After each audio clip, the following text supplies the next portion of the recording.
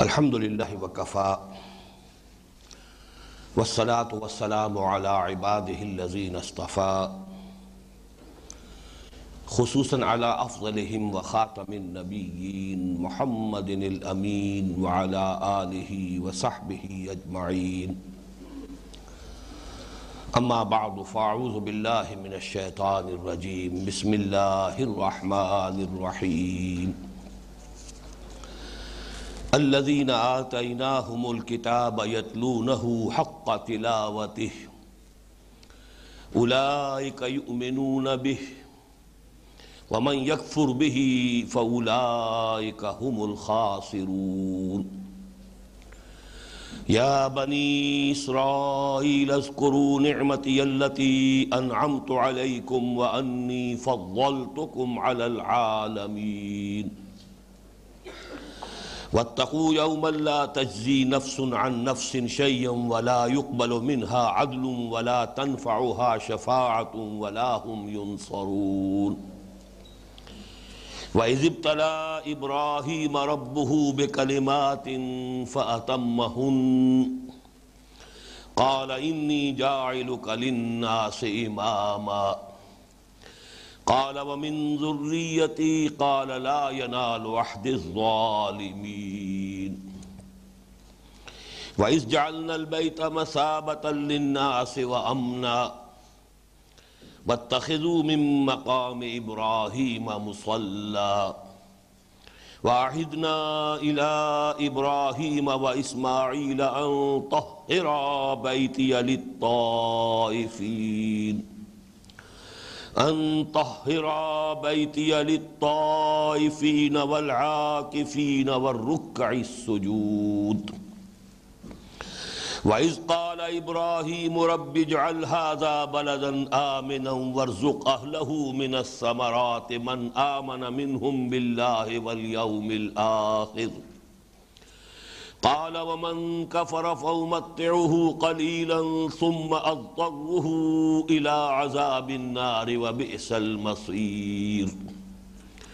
وإذ يرفع إبراهيم القواعد من البيت وإسماعيل، ربنا تقبل منا إنك أنت السميع العليم.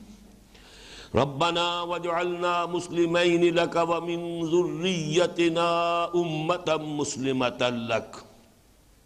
وأرنا مناسكنا وتب علينا إنك أنت التواب الرحيم. ربنا وابعث فيهم رسولا منهم يتلو عليهم آياتك ويعلمهم الكتاب والحكمة ويزكيهم. انك انت العزيز الحكيم. صدق الله العظيم رب اشرح لي صدري ويسر لي امري واحلل عقدة من لساني يفقهوا قولي. اللهم ربنا الهمنا رشدنا واعذنا من شرور انفسنا اللهم ارنا الحق حقا وارزقنا اتباعه وارنا الباطل باطلا وارزقنا اجتنابه. اللهم وفقنا لما تحب وترضى.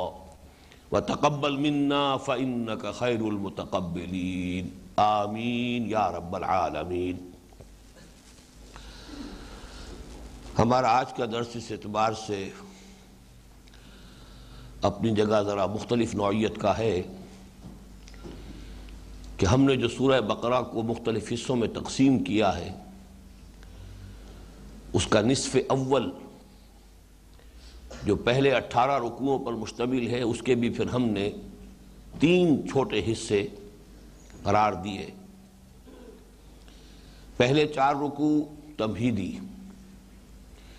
اس کے بعد سوا دس رکوع سمجھئے کہ جس میں خطاب سابق امت مسلمہ سے۔ پھر چار رکوع تقریباً تحویلی۔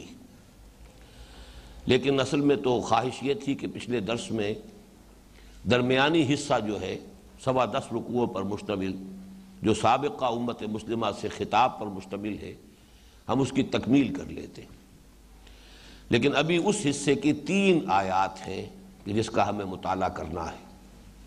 بلکہ ان میں سے بھی پہلی آیت جو ہے، اس کو اچھی طرح سمجھنے کے لیے پھر ہمیں ریفر بیک کرنا ہوگا مزید دو آیات کی طرف۔ تو ہمارے آج کے درس کا کچھ حصہ جو ہے، وہ اس درمیانی حصے کے تکملے پر مشتمل ہوگا۔ پھر وہ تحویلی حصہ شروع ہو جائے گا جو ہمارے آج کے بیان کا جو مین ہے، جو بلک ہے، جو اس کا اصل، وہ اس تحویلی حصے سے متعلق ہے۔ درمیانی حصہ کہ جس میں امت، سابقہ امت مسلمہ یعنی بنی اسرائیل سے خطاب ہے، اس کے ضمن میں آخری تین آیات۔ الذین آتیناہم الکتاب یتلونہ حق تلاوتی جنہیں ہم نے کتاب عطا کی ہوتی ہے، وہ اس کی تلاوت کرتے ہیں جیسا کہ اس کی تلاوت کا حق ہے۔ اولئک یؤمنون بہ، وہی ہے کہ جو اس پر حقیقتاً ایمان رکھتے ہیں، یا وہی ہے کہ جو اس پر بھی ایمان لائیں گے۔ یہ دو ترجمے ہوں گے، دو مختلف اعتبارات سے میں اس کی وضاحت بعد میں کروں گا۔ عربی زبان میں آپ کو معلوم ہے فعل مظاہرہ جو ہے، اس میں دونوں امکانات ہیں، حال اور مستقبل، دونوں کو کور کرتا ہے سیغہ مظاہرہ گرامر کی روح سے دونوں ترجمے ممکن ہیں، لیکن یہ دونوں کس، کن دو مختلف اعتبارات سے ہیں، اس کی وضاحت جیسا کہ میں نے عرض کیا ابھی میں کروں گا۔ الذین آتیناہم الکتاب، جنہیں ہم نے کتاب عطا کی یتلونہ وہ اس کی تلاوت کرتے ہیں، حق کا تلاوت ہی جیسے کہ اس کی تلاوت کا حق ہے۔ اولئک یؤمنون بھی وہی ہیں جو اس پر حقیقتاً ایمان رکھتے ہیں۔ ایک ترجمہ۔ وہی ہے کہ جو اس پر بھی ایمان لائیں گے۔ یہ دوسرا ترجمہ ہے۔ وَمَنْ يَكْفُرْ بِهِ فَأُولَٰئِكَ هُمُ الْخَاسِرُونَ۔ اور جو اس کا کفر کرتا ہے۔ اور کفر کے بھی دو مفہوم، ناشکری اور انکار۔ پہلا ترجمہ ہوگا تو اس کے حوالے سے ناشکری۔ دوسرا ترجمہ ہوگا تو اس کے حوالے سے انکار۔ وَمَنْ يَكْفُرْ بِهِ جو اس کا کفر کرتا ہے، جو ناشکری کرتا ہے، جو اس کا انکار کرتا ہے فولا الخاسرون۔ تو وہی لوگ ہیں کہ جو خسارے میں رہنے والے ہیں، ہلاکت اور بربادی میں پڑھنے والے ہیں۔ اب اصل میں اس آیت کو اگر ہم ایک آئسولیٹڈ آیت کی حیثیت سے علیحدہ سیاق و سباق سے علیحدہ کر کے، جیسے کہ اس کے اپنے الفاظ ہیں، بارہا یہ بات جو ہے ہمارے ہاں زیر بحث آ چکی ہے کہ قرآن حکیم میں ہر آیت کا اپنی جگہ پر ایک مفہوم، اپنی جگہ پر اس کا ایک مدلول ہے کونوٹیشن ہے۔ لیکن سیاق و سباق سے، ربط کلام سے، اس کے مفہوم میں، مدلول میں، اس کے معنی میں ایک نئی ڈائمنشن کا اضافہ ہوتا ہے۔ جس کی مثال میں یہ دیتا رہا ہوں کہ ہار ہے اس ہار میں جو ہیرے ہیں یا موتی ہیں، ان میں سے ہر موتی اپنی جگہ پر ایک حسن کا مرقع ہے، مجسمہ ہے۔ لیکن ہار میں جو ترتیب ہوئی ہے، جس ترتیب سے انہیں پرویا گیا ہے، اب اس سے ان موتیوں کا حسن دوبالا ہو جاتا ہے۔ تو یہی معاملہ ہے کہ ہر آیت اپنی جگہ پر علم، حکمت، معنی، ہدایت، اس کا ایک بہت بڑا ہیرا ہے، بہت بڑا موتی ہے۔ تو اسے اپنی جگہ رکھ کر بھی دیکھیے۔ پھر یہ کہ جس طریقے سے اسے اس ہار کی ڈوری میں پرویا گیا ہے، سیاق و سباق جو ہے اس کے حوالے سے کس مضمون کے سلسلے میں یہ آیت وارد ہوئی ہے، تو اس کے حوالے سے غور کریں۔ تو یہ آیت خاص طور پر ایک نمایاں مثال کی حیثیت رکھتی ہے ان دونوں اعتبارات میں جو کچھ ایک اضافہ ہوتا ہے معنی کا یا کچھ فرق و تفاوت پیدا ہوتا ہے۔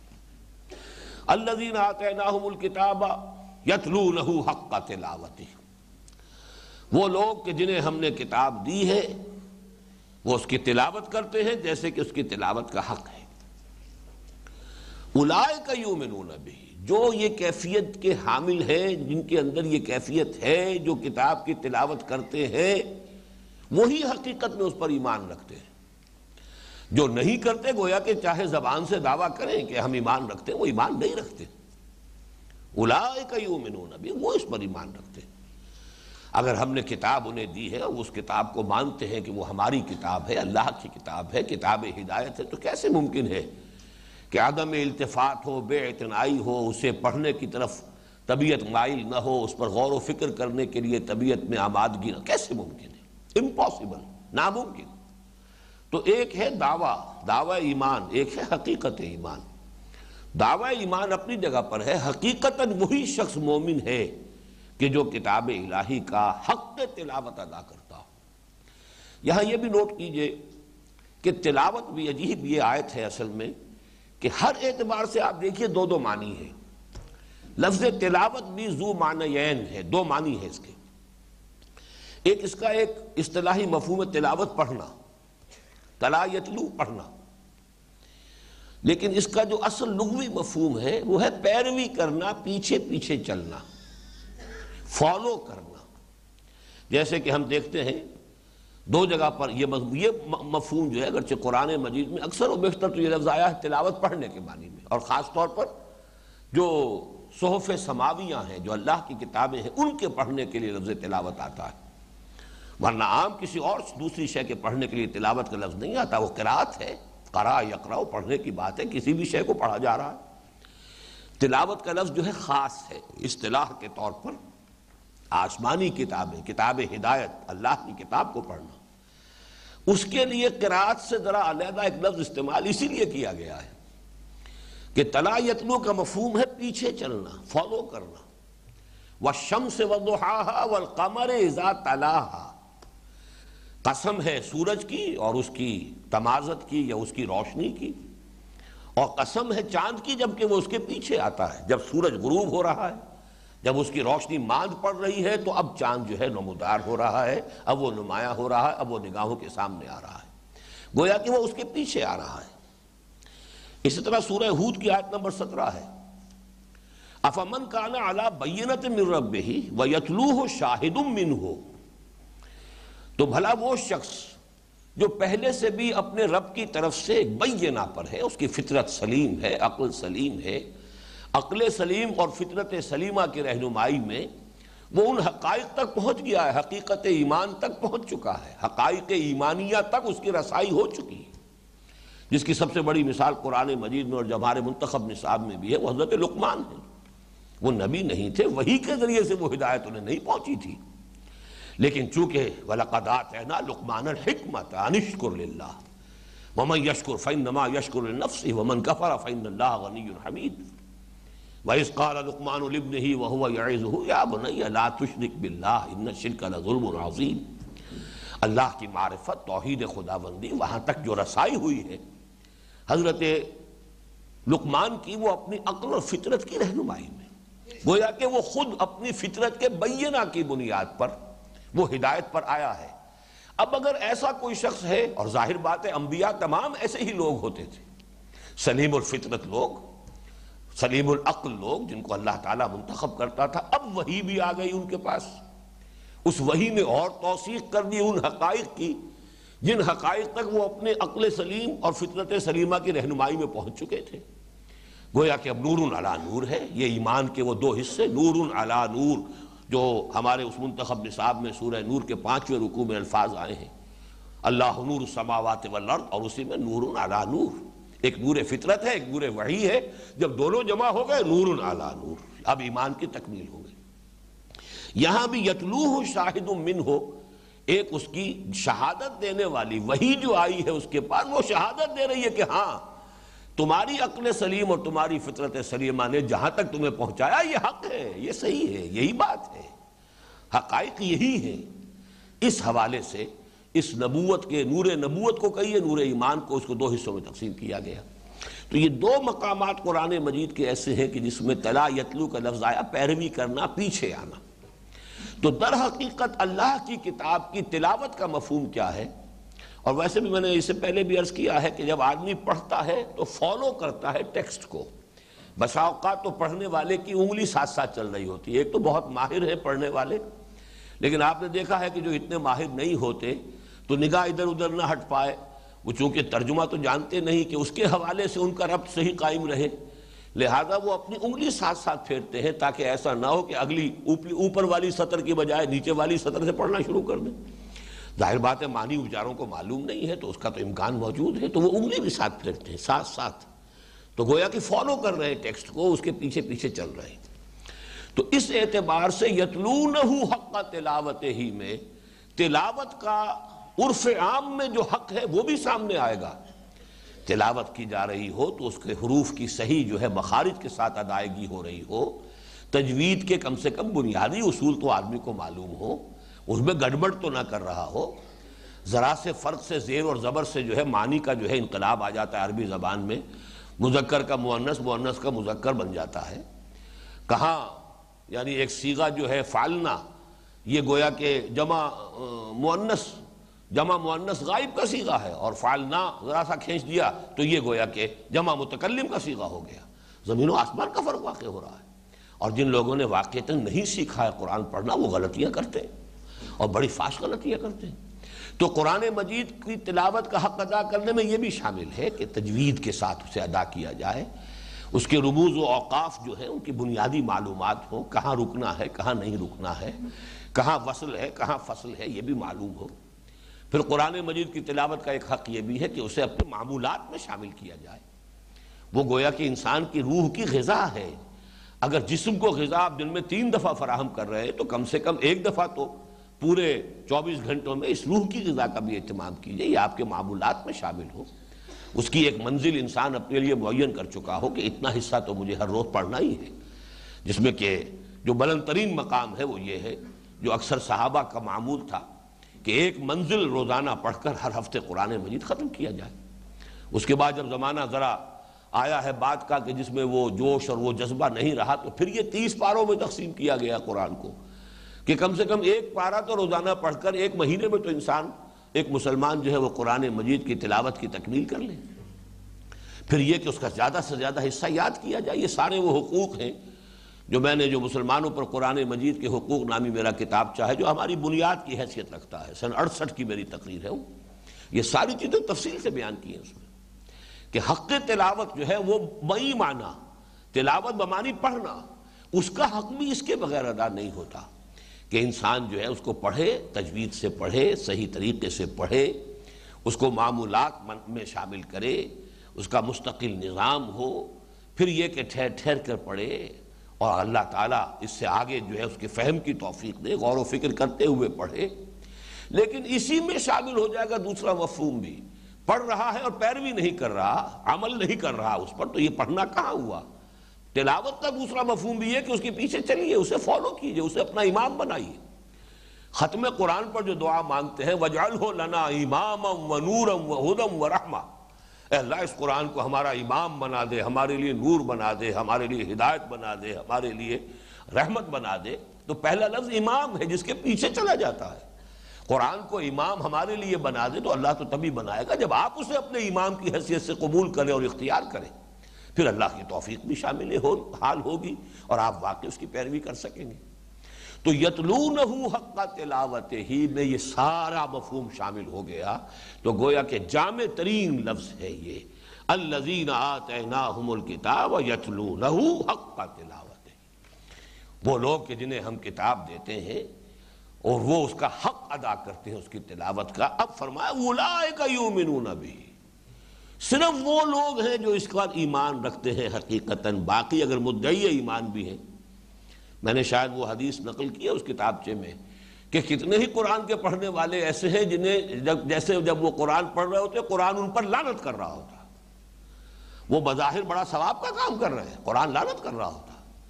اس لیے کہ سود کی آیت پڑھی ہے اور اللہ اور اس کے رسول کی طرف سے اعلان جنگ والی آیت بھی پڑھی ہے اور خود سودی سودی دھندا کر رہا ہے، سودی کاروبار کر رہا ہے۔ تو قرآن لانت نہیں کرے گا اس وقت۔ تو بہت سے قرآن کے پڑھنے والے جنہیں اس لانت ملامت کے سوا قرآن کے پڑھنے سے کچھ حاصل نہیں ہوتا۔ وہ تو یہ کہ آپ پڑھ رہے ہیں، تو جہاں اس کے پڑھنے کے وہ حقوق ہیں، بنیادی اور ابتدائی حقوق، وہاں قرآن کا پڑھنا تو اصل میں وہ ہے کہ پھر جس کی پیروی کی جا رہی ہو، جس کے مطابق عمل کیا جا رہا ہو، جبکہ اس کو واقعتاً امام بنا لیا ہو، جبکہ انسان اس کے پیچھے پیچھے چل رہا ہو۔ صرف انگلی پیچھے نہ چل رہی ہو، پورا وجود چل رہا ہو، پوری اس کی شخصیت کا رخ ادھر ہی ہو۔ وہ واقعتاً اس کی پیروی کر رہا ہو۔ وہی لوگ ہیں جو اس پر ایمان لانے والے۔ یہ گویا کہ وہی بات ہو گئی جو اس حدیث میں جو اس کتاب سے بھی میں نے کوٹ کی ہے، اس کا حوالہ وہاں سے دیکھ لیجیے گا کہ حضور نے فرمایا، ما من بالقرآن من استحل محارمہ اس شخص کا قرآن پر کوئی ایمان نہیں ہے کہ جس نے اس کی حرام کردہ اشیاء کو اپنے لیے حلال ٹھہرا لیا۔ لاکھ دعویٰ کرے کہ میرا قرآن پر ایمان ہے۔ چاہے حافظ قرآن ہو، حافظ قرآن کا، چاہے مفسر قرآن ہو۔ اگر قرآن ایک شے کو حرام قرار دیتا ہے اور وہ اس میں ملوث ہے اسے اپنے لیے حلال کیے بیٹھا ہے تو اس کا قرآن پر کوئی ایمان ما آمنا بالقرآن من استحل محارمہ وہ گویا کہ منفی اسلوب ہے اسی بات کا۔ اولئک یؤمنون به یہ ہے وہ لوگ جو واقعتاً اس پر ایمان رکھتے ہیں۔ وہ اگر دعویٰ ایمان کرے تو سچے ہیں۔ وَمَنْ يَكْفُرْ بھی اب یہاں یکفر انکار کے معنی میں نہیں آئے گا اس مفہوم میں، بلکہ کفر جو ہے وہ شکر کے مقابلے میں ہے۔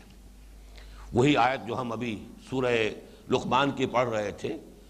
جو وَلَقَدْ آتَيْنَا لُقْمَانَ الْحِكْمَةَ أَنِشْكُرْ لِلَّهِ وَمَنْ يَشْكُرْ فَإِنَّمَا يَشْكُرُ لِنَفْسِهِ وَمَنْ كَفَرَ فَإِنَّ اللَّهَ غَنِيٌّ حَمِيدٌ شکر بمقابلہ کفر کفر بمقابلہ شکر لَإِن شَكَرْتُمْ لَأَزِيدَنَّكُمْ وَلَإِن كَفَرْتُمْ إِنَّ عَذَابِي لَشَدِيدٌ دیکھو اگر تم شکر کرو گے میں اور دوں گا اور نوازوں گا میری نعمتوں کے اندر اور اضافہ ہوگا اور اگر تم نے کفران نعمت کیا ناشکری کی تو میرا عذاب بھی بڑا سخت تو یہاں پر گویا کہ وہ لوگ ناشکری کر رہے ہیں۔ اللہ کی کتاب مانتے ہیں کہ یہ اللہ کی کتاب ہے، پھر ناشکری کر رہے ہیں۔ نہ اسے پڑھتے ہیں، نہ اس پر غور کرتے ہیں، نہ اسے سمجھتے ہیں، نہ اس پر عمل کرتے ہیں، نہ اس کو انہوں نے اپنا امام بنایا ہے۔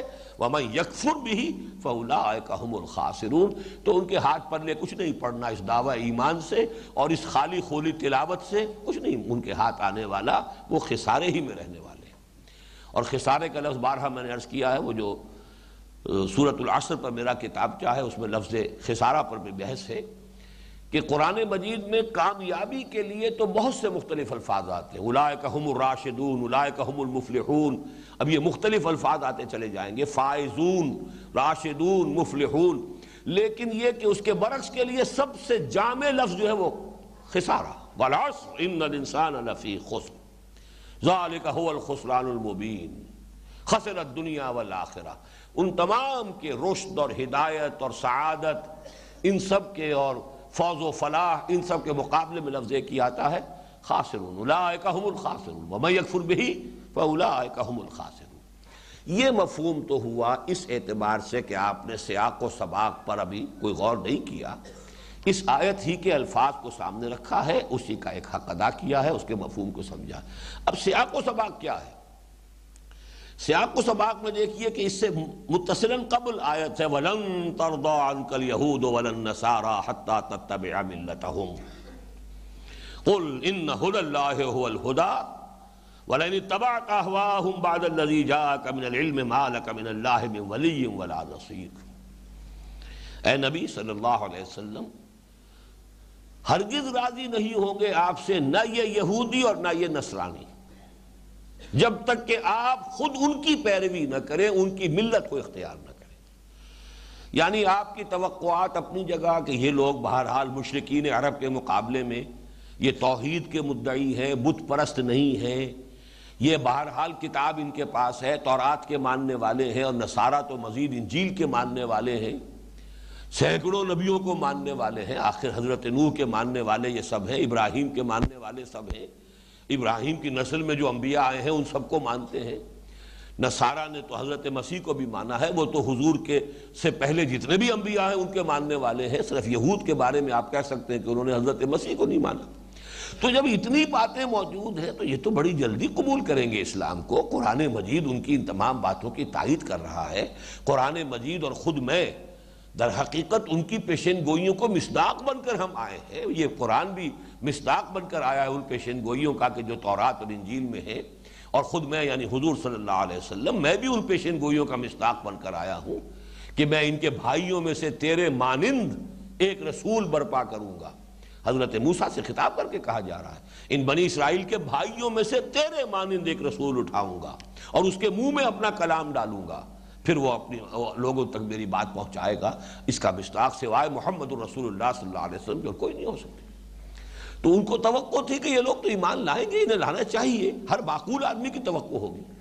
لیکن نہیں ہے نبی، یہ ہرگز ماننے والے نہیں ہیں۔ ان کی اپنی صدارتیں ہیں، چودراہٹیں ہیں، سیادتیں ہیں، قیادتیں ہیں۔ ان کا ایک نظام ہے، چودراہٹوں کو کون چھوڑنے کو تیار ہوگا؟ آپ پر ایمان لانے کے معنی تو یہ ہے کہ ان کی ان کی چودراہٹیں ختم، ان کی مسندیں ختم۔ اب تو خود وہ آپ سے فتوا لیں گے، آپ سے پوچھیں گے کہ کیا حق ہے، کیا باطل ہے، کیا صحیح ہے، کیا غلط ہے۔ وہ گویا کہ اب سائل کے درجے میں آ جائیں گے آپ کو ماننے کے بعد، قرآن کو ماننے کے بعد۔ کہاں یہ کہ وہ مفتی ہے وہ تو فیصلے کرنے والے ہیں، شریعت کے اصل ٹھیکے دار وہ ہیں، کتاب کے اصل جو ہے حوالدار وہ ہیں۔ اس اعتبار سے لن ترضا عنک الیہود ولن نصارا حتی تتبع ملتہم اور یہ جو فرمایا کہ اگر آپ کے پاس جو یہ ہدایت آ گئی ہے قرآن کی شکل میں، اگر اس کے بعد بھی آپ نے ان کی خواہشات کی پیروی کی، تو پھر اللہ کے مقابلے میں کوئی آپ کو بچانے والا اور کوئی آپ کا حمایتی نہیں ہوگا۔ بہت سخت الفاظ ہیں۔ اور میں بتا چکا ہوں، اس سے بھی زیادہ سخت الفاظ سورہ بنی اسرائیل میں آ چکے ہیں۔ وَإِن قَادُوا لَيَفْتِنُونَكَ عَنِ الَّذِي أَوْحَيْنَا إِلَيْكَ لِتَفْتَرِي عَلَيْنَا غَيْرَهُ وَإِذًا لَاتَّخَذُوكَ خَلِيلًا۔ وَلَوْلَا أَن ثَبَّتْنَاكَ لَقَدْ كِدتَّ تَرْكَنُ إِلَيْهِمْ شَيْئًا قَلِيلًا. إِذًا لَّأَذَقْنَاكَ ضِعْفَ الْحَيَاةِ وَضِعْفَ الْمَمَاتِ، ثُمَّ لَا تَجِدُ لَكَ عَلَيْنَا نَصِيرًا. یہ تو تلے ہوئے ہیں محمد صلی اللہ علیہ وسلم کہ آپ کو بچلا دیں، منحرف کر دیں اس چیز کی طرف سے کہ جو ہم نے آپ پر نازل کی ہے، تاکہ آپ خود اپنے جی سے، اپنے من سے کچھ گھڑ کر ہماری طرح منسوب کر دیں۔ اور اگر ایسا کر دیں گے، جھگڑا ختم، لڑائی ختم، پھر یہ آپ کے ساتھ دوستی ہوگی۔ آپ کو خلیل بنائیں گے اپنا، اپنے آنکھوں پہ بٹھائیں گے، اپنا سرتاج بنا لیں گے، سب کچھ کر لیں گے۔ اور اے نبی، اگر ہم ہی نے آپ کے پائے مبارک کو پوری طرح جمائے نہ رکھا ہوتا تو کوئی عجب نہیں کہ بربنائے طب بشری آپ ان کے دباؤ کی وجہ سے کہیں کچھ تھوڑا بہت ان کی طرف مائل ہو ہی جاتے۔ اور اگر ایسا ہو گیا ہوتا تو آپ کو دوہری سزا ملتی دنیا کی اور دوہری آخرت کی۔ اور کوئی آپ کو بچانے والا نہ ہوتا اللہ کی پکڑ سے۔ بڑے سخت الفاظ سوال یہ کہ یہ بات کیوں کہنے کی ضرورت پیش آئی؟ بربنائے طب بشری اس بات کا امکان ہے کہ دائی جو ہے وہ کچھ کمپرومائز پر آمادہ ہو جائے۔ حالات ایسے ہوتے ہیں، دباؤ اتنا شدید ہو جاتا ہے۔ وہ تو یہ کہ نبی کا معاملہ یہ ہے کہ اللہ سہارا دیتا ہے، اللہ تعالیٰ بچاتا ہے۔ ورنہ یہ کہ کسی غیر نبی کے لیے تو یوں سمجھیے کہ بہت ہی قرین قیاس ہے۔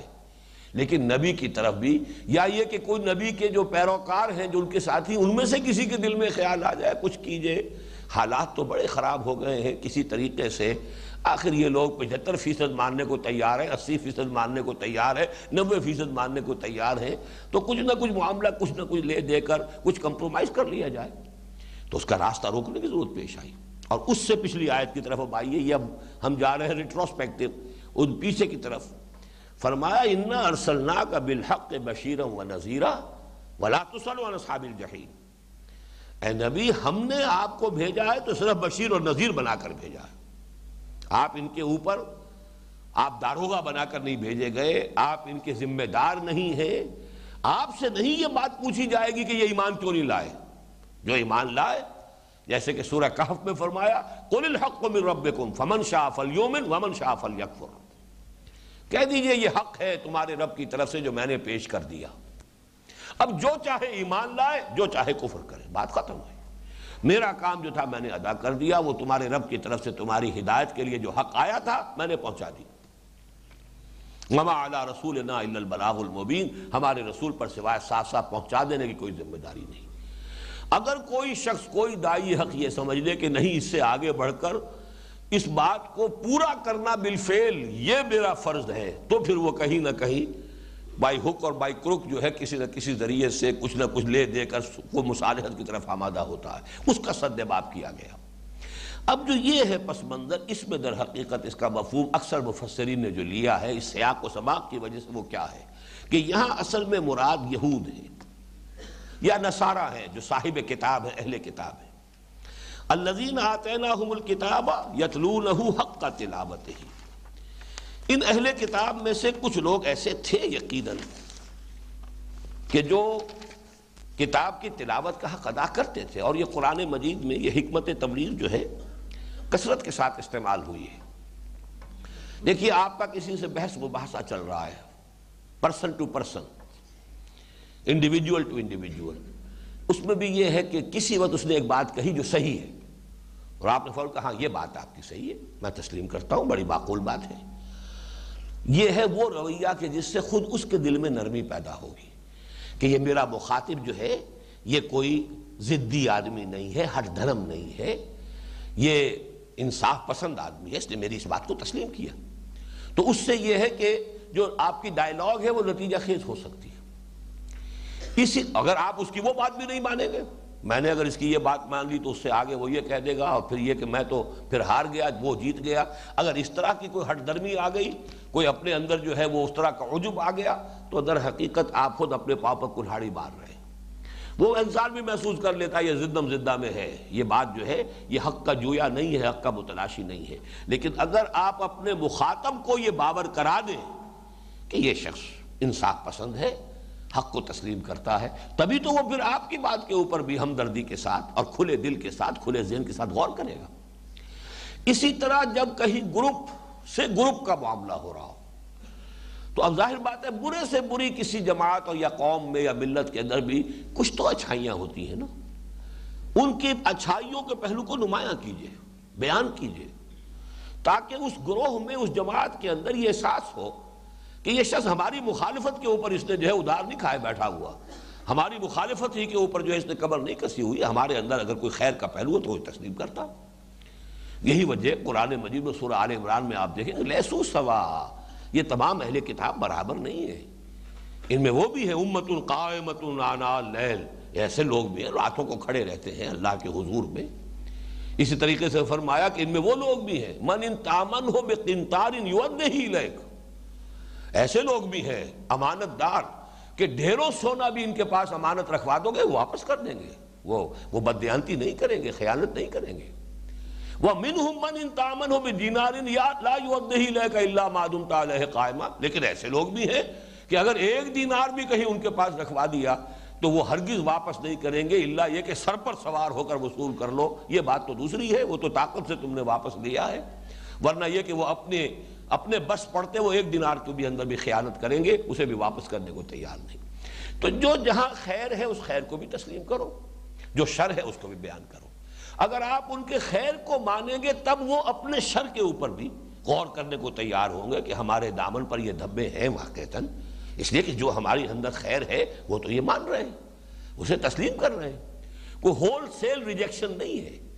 ہول سیل کنڈمنیشن ہو رہی ہو، تو ظاہر بات ہے کہ پھر فریق ثانی کے اندر بھی ایک ضد پیدا ہو جائے گی، ہٹ درمی پیدا ہو جائے گی، اور اس کے اندر جو ہے کسی بھی بات کو قبول کرنے کے لیے اس کا دل جو ہے وہ کھلا نہیں رہے گا۔ تو اسی حوالے سے آپ دیکھیے کہ قرآن مجید میں، اہل کتاب میں جو بھی خیر کا پہلو تھا، اسے بھی اجاگر کیا گیا ہے۔ اس میں اب ایک نقطے کا میں اضافہ کر رہا ہوں۔ یہ اضافہ جو ہے، یہ مولانا فراہی اور مولانا اصلاحی صاحب، یہ جو مکتب فکر ہے تفسیر کا، یہ ان کا ہے۔ اور چونکہ اسالیب قرآن خاص موضوع تھا، مولانا فراہی رحمۃ اللہ علیہ کا، اس پر ان کی ایک کتاب بھی ہے۔ اگرچہ کتاب کہنا اسے مناسب نہیں ہے، رسالہ کا یہ چھوٹا سا، چھوٹی سی کتاب ہے۔ قرآن مجید کے بعد مخصوص اسالیب ہے ان کی پہچان حاصل ہو جائے تو وہ گویا کہ کلید کا کام دیتے ہیں بہت سے معاملات کے اندر۔ اب قرآن مجید میں اہل کتاب کا تذکرہ دو انداز میں آتا ہے۔ والذین اوت الکتاب اب یہ مجہول کا سیغہ ہے پیسو وائس وہ لوگ جنہیں کتاب دی گئی تھی۔ اور الذین آتیناہم الکتاب، وہ لوگ جنہیں ہم نے کتاب عطا فرمائی۔ یہ دو مختلف اسلوب ہیں۔ ایک ایکٹیو وائس ہے، ایک جو معروف کا سیغہ ہے، جنہیں ہم نے کتاب دی۔ اور ایک وہ جنہیں کتاب دی گئی تھی، جو کتاب دیے گئے۔ ان دونوں اسلوبوں میں یہ فرق بیان کیا گیا اور بڑے دل کو لگنے والی بات ہے۔ کہ جہاں کوئی مقام مدہ ہے، جہاں کوئی ان کے خیر کو نمایاں کرنا ہے، وہاں الزین آتیناہم الکتاب، یہ معروف کا اسلوب جو ہے وہ وہاں آتا ہے۔ لیکن جہاں ان کی کوئی زم کا پہلو ہے، قابل مذمت کوئی بات ان کی بیان کرنی ہے، تو وہاں الزین اوت الکتاب، وہ لوگ کہ جنہیں کتاب دی گئی تھی، ان کا طرز عمل یہ ہے، ان کا جو معاملہ ہے وہ یہ ہے۔ تو یہاں پر جو لفظ آیا ہے الزین آتیناہم الکتاب یہ اہل کتاب کے ان حق پرست لوگوں کا تذکرہ ہو رہا ہے کہ جو ان میں خال خال جیسے وہ علامہ اقبال کا شعر ہے، خال خال اس قوم میں اب تک نظر آتے ہیں، وہ کرتے ہیں اشک سہر گاہی سے جو ظالم وضو۔ تو بہرحال مسلمان قوم کتنی ہی گر گئی، کتنی پستی میں چلی گئی، کتنی خراب ہو گئی، لیکن پھر بھی افراد تو ایسے موجود ہیں، خال خال اس قوم میں اب تک نظر آتے ہیں، وہ کرتے ہیں اشک سہر گاہی سے جو ظالم وضو۔ اسی طرح کا معاملہ یہ ہے کہ ان میں ہے کچھ لوگ، چاہے وہ آٹے میں نمک کے برابر ہے کوئی پرواہ نہیں۔ لیکن اگر ہے تو اس کو نمایاں کیجیے اسے بیان کیجیے۔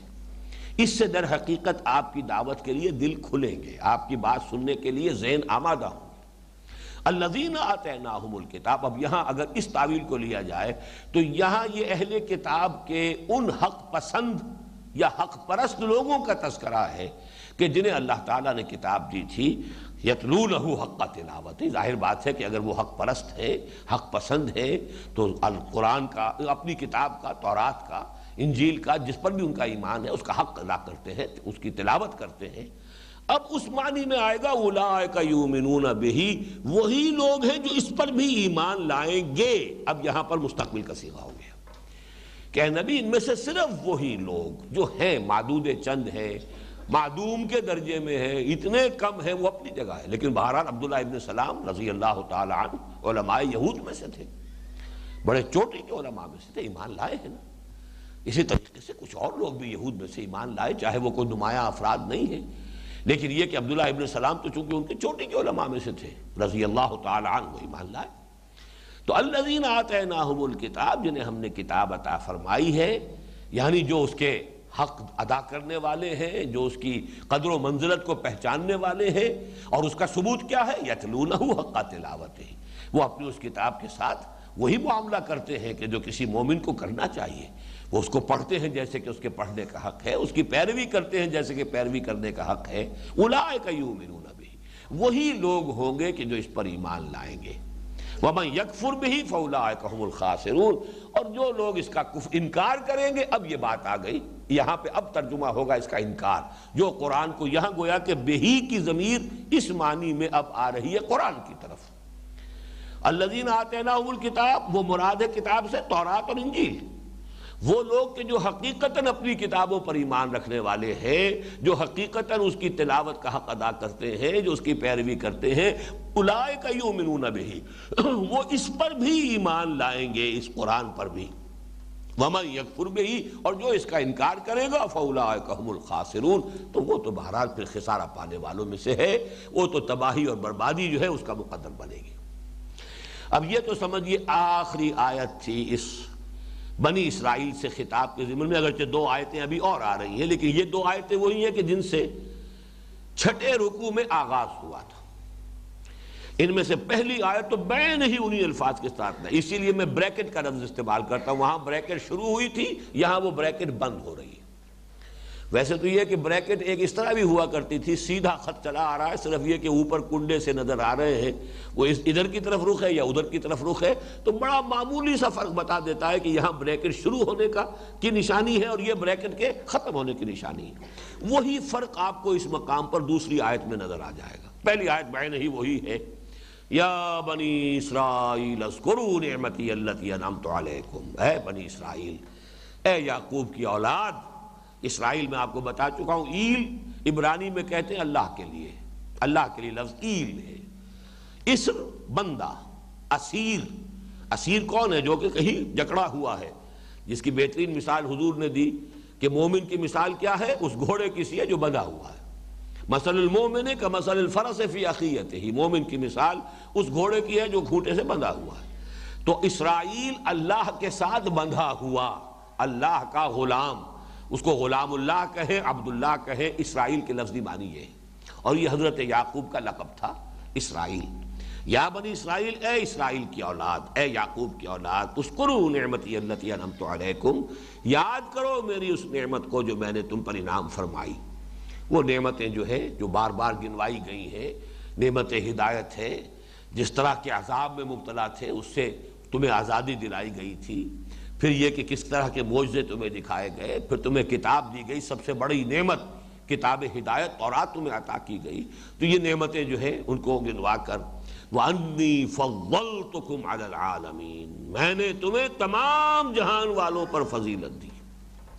اگرچہ لفظی ترجمہ اس کا ہوتا ہے میں نے تمہیں تمام جہانوں پر فضیلت دی۔ اس میں بھی مولانا فراہی رحمت اللہ علیہ نے جو اس کی تعبیر کی ہے، اور ایک اصول کے درجے میں کہ کبھی کبھی ایسا ہوتا ہے کہ مضروف کی جمع کو لانے کے لیے ظرف کو جمع کر دیا جاتا ہے۔ گلاسوں کا پانی مطلب یہ کہ گلاس کا سارا پانی۔ اتنے گلاس، اتنے مطلب گلاس میں جتنا پانی ہے۔ عالمین جہانوں والے یعنی جہان والے سب۔ رحمت للعالمین، تمام جہان والوں کے لیے، تمام جہانوں والے کے لیے، ایک لفظی ترجمہ یہ ہوگا۔ لیکن ایک یہ ہے کہ حضور صلی اللہ علیہ وسلم کو بھیجا گیا ہے، نوع انسانی کی طرف، ملائکہ کی طرف تو رسول بنا کر نہیں بھیجے گئے وہ۔